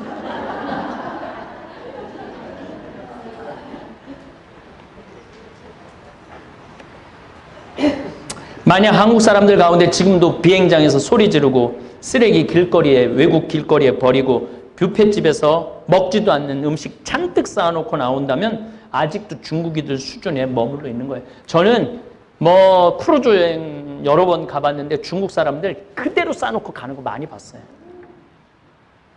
먹지도 않을 건데 그래갖고 저 노르웨이의 한 크루즈는 그 중국 사람들 때문에 내년에 문 닫는 데잖아요. 그 오는 거 말, 말릴 수도 없고 그 음식 수지 타산이 안 맞고 그래갖고 문을 닫는데요. 어쨌든 어, 저는 그러면은 왜 중국이 이런 일이 벌어지네 이 진짜 중국 이야기를 지금부터 하고 싶은 거예요. 진짜 요거 잘 들어야 돼 이제 정신 바짝 차리고 1959년부터 1961년까지 중국은 대약진 운동이라는 걸 해요. 정확하게 1957년에 시작을 해요. 대약진 운동이 뭐냐면은 사람들이 하도 굶고 그러니까 쌀 수확량도 좀 늘리고 동네마다 용광로를 만들어서 동네마다 철제 기구도 좀 만들고 이런 거 하자고. 그래갖고 네 가지 이 좀 해충을 죽여야 된다고. 파리, 쥐, 모기, 새, 참새. 참새는 왜 죽이느냐 하면은 나달 다 뜯어 먹으니까 우리 양식 뜯어 먹는다고. 그래갖고 이 58년에 2억 마리를 죽여요 참새를 59년부터 61년에 중국에 무슨 일이 벌어지느냐면 3,500만 명이 굶어 죽어요. 인구의 3,500만 명이 굶어 죽어요. 그 정말로 그 지금 뭐 이 얘기를 다 못하지만 부모가 자식 많이 잡아먹었어 이때. 그리고 옆 동네에서 양식 구하러 온 사람 옆 동네는 안면 없는 사람들이잖아. 바로 잡아서 먹 먹는 비일비재야. 3,500만 명이 죽었다 그러면은 어느 정도예요. 근데 왜 도대체 그런 일이 벌어지느냐? 아니 참새를 다 잡고 나니까 참새가 해충을 다 잡아먹었는데 해충들이 다음에 59년부터 난리가 난 거야. 이게 웬 떡이냐? 그래갖고 그냥 벼 이삭, 벼싹 다 잡아먹은 거야. 식량이 없으니까 굶어 죽은 거죠. 이게 대약진운. 이게 막 인류 역사에 정말 충격적인 일이 중국에서 벌어진 거예요. 그리고 1966년부터 1976년까지 문화 대혁명이 일어나요. 아니 러시아를 보니까 막 문인들이 막 발표를 하고 예술이 막 대단하단 말이야. 아 그래서 마오쩌둥이 어 그럼 우리도 하자고. 그래갖고 1965년에 막 이제 막 발표도 해봐라 해봐라 그러니까 난리가 난 거야. 공산주의 잘못됐고 독재 잘못됐고 어 이거 안 되겠다. 그래갖고 홍위병 얘네들은 하여튼 빨간 거 엄청나게 좋아해요. 황건적, 홍건적 이번에는 홍위병. 이 홍위병 대학생들을 중심으로 해서 이 홍위병을 구성을 해갖고 교수들, 학 선생님들 데려다가 인민 재판하고 다 죽인 거야. 이때 350만 명을 죽여요. 350만 명을. 그래서 66년부터 76년까지 학교도 배울 필요 없다를 문을 닫아요. 그래서 중국은 66학번부터 76학번 자체가 없어. 이때 교육을 전혀 받지 못한 이 세대들, 50대, 60대, 70세 세대들이 중국을 이끌고 가는 거예요. 그러면 이때 교육을 전혀 받지 못한 이 사람들이 자기 자녀한테 윤리 교육을 아예 윤리 교육을 하지 말라고 그랬어. 그리고 더 놀라운 건 공자 사당을 무너뜨려요. 공자 사당을 운물을 저, 저수지를 만들어. 그 다음에 왕들 묘도 다 파버려. 다, 다 뼈까지 다 추스려 버려. 그리고 이 종교는 인민의 아편이다. 그리고 이 유교도 종교다. 그래갖고 싹 다 부셔버려. 심지어 어느 정도냐면은 요리사까지 다 죽여버려. 니네들이 미식으로 해갖고 인민들 배굶긴다고 지가 대약진 운동해갖고 인민들 3,500만 굶긴 건 생각하지 않고 공자 책도 다 불사르고 공자 묘를 폐해쳐서 연못으로 만들고 불상은 녹여서 숟가락으로 만들었어. 숟가락으로. 교수들은 땀 흘려 노동을 하지 않고 밥 먹는 벌레 같은 놈들이다. 앞으로 교육으로는 돈 받을 수 없다. 이게 그 유명한 문화 대혁명의 1966년부터 76년. 옛 것은 모조리 숙청해라. 문화, 교육, 정치, 심지어는 부모들까지 공산주의 사상에 어긋나오면 자식이 부모 인민재판에 세웠고 죽이기까지 해요. 그러니까 중국이 지금 저렇게 비윤리적이고 아주 저급한 문화를 보이는 이유 중에 하나가 이 문화 대혁명 때문에 그래요. 근데 저거를 자기네들의 문제점을 알아야 되는데 예, 저 문제점을 모르는 거예요. 그 내가 보기엔 중국 사람들, 미국 사람들 따라가려면은 100년은 더 쫓아가야 돼요. 100년은. 우리나라 따라오려면 50년은 더 따라와야 되고. 왜냐하면 교육이라는 거는 100년이 시간이 걸리는 거거든요. 지금 윤리교육을 하려고 해도 윤리교육이 아- 안 돼. 왜냐하면 소황제를 들어봤죠? 왜냐하면은 아, 인구가 인간이 너무 많으니까 한 명만 낳게 한 거 아니야. 그러면은 할머니, 외할머니, 외할아버지, 어, 친할머니, 친할아버지, 엄마, 아빠, 애 중에 하나밖에 없는 거야. 하나하나 30년 동안 그걸 낳았으니까. 얘 위에 여섯 명이 얘한테 벌벌벌벌 떠는 거야. 그러니까 이- 지금 20, 30대 애들이 예의가 있을 수가 없는 거예요. 그러니까 지금 이 중국 애들이 한국에 와갖고 여행을 하고 나면은 자기 필요한 물건 다 사면은 중국에서 입고 온 건 다 버리고 가. 호텔에다 다 두고 가. 가방도 두고 가고 다 두고 가. 새 거 갖고 가는 거죠. 참 그런 걸 보면은 기가 막히죠. 내가 왜 중국 걱정을 하는 게 하느냐? 중국 걱정을 왜 하느냐면은 이제 우리가 중국을 잘 알아야 돼. 중국 사람들 제주도에 관광 온다고 땅 다 팔았어요. 다 파는 건 아니고 여의도 두 배 많은 거. 한 제주도에 150만 평 정도, 160만 평 정도의 땅을 팔았어요. 사실은 제주도에서 160만 평이면 어마어마한 땅이죠. 그렇게 팔아놨더니 거기에 걔네들이 호텔 짓죠, 식당 짓죠. 그렇게 팔아놨더니 아니 거기다가 식당을 줘갖고 중국 관광객을 우리나라 식당으로 안 보내고 자기네 식당으로 다 끌고 오네. 우리는 땅 뺏기고 관광객들 아무리 바글바글해도 시끄럽기만 하고 돈은 누가 벌어 가? 중국 사람들이 다 벌어 가는 거예요. 그러니까 이게 우리가 중국을 이해하지 못하는 아주 극단적인 피해 중에 하나가 바로 그거예요. 그래갖고 뭐 사드 때문에 또 싹 빠져가갖고 또 내가 제주도 1년에 한두 번은 꼭 내려가는데 내려가 보면 건물 짓다 말아갖고 폐허로 되는 건물들이 아주 길에 널려 있어. 길에 널려 있어.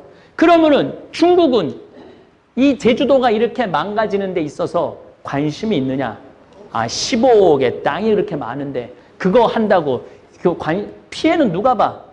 우리가 봐. 그러면은 3만 달러를 사는 우리 국민들이 8,600만, 8,600달러밖에 안 되는 중국 사람들한테 그 땅값 3배, 4배 준다고 팔아야 돼요? 팔지 말아야 돼요?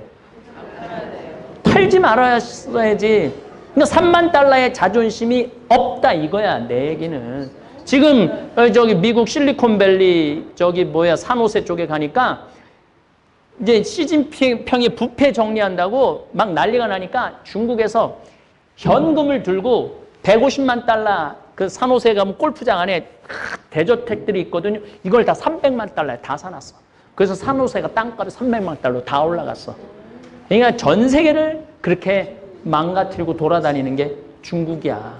그러니까 이 중국 사람들을 제대로 알고 아니 우리나라가 그 땅 안 팔면은 굶어 죽는 나라도 아니고 그러니까 중국에서 지금 관광객이 다시 늘어난다 그러는데 저가로 들어오는 거는 하지 말아야 돼.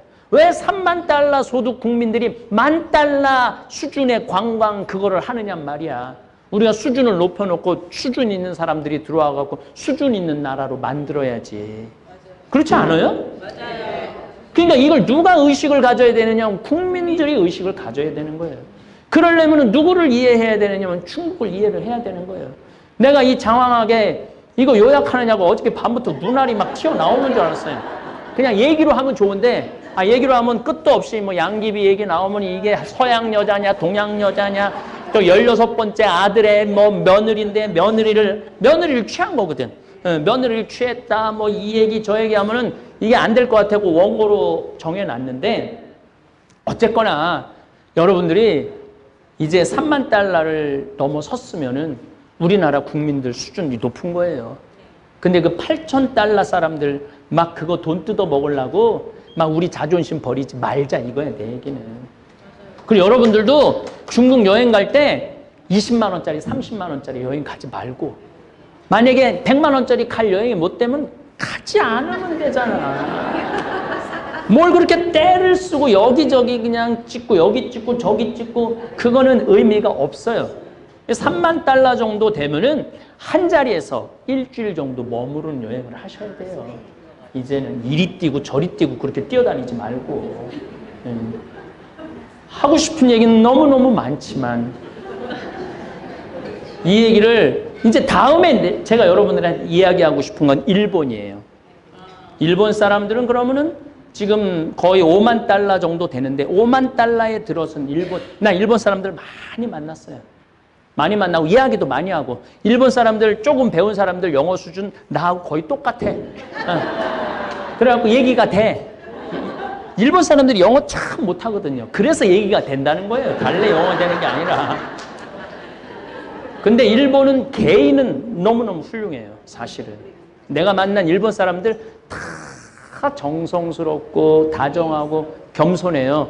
근데 그걸 합쳐놓으면 이상해지는 거예요. 그 왜 합쳐놓으면 이상해지는지는 내가 다음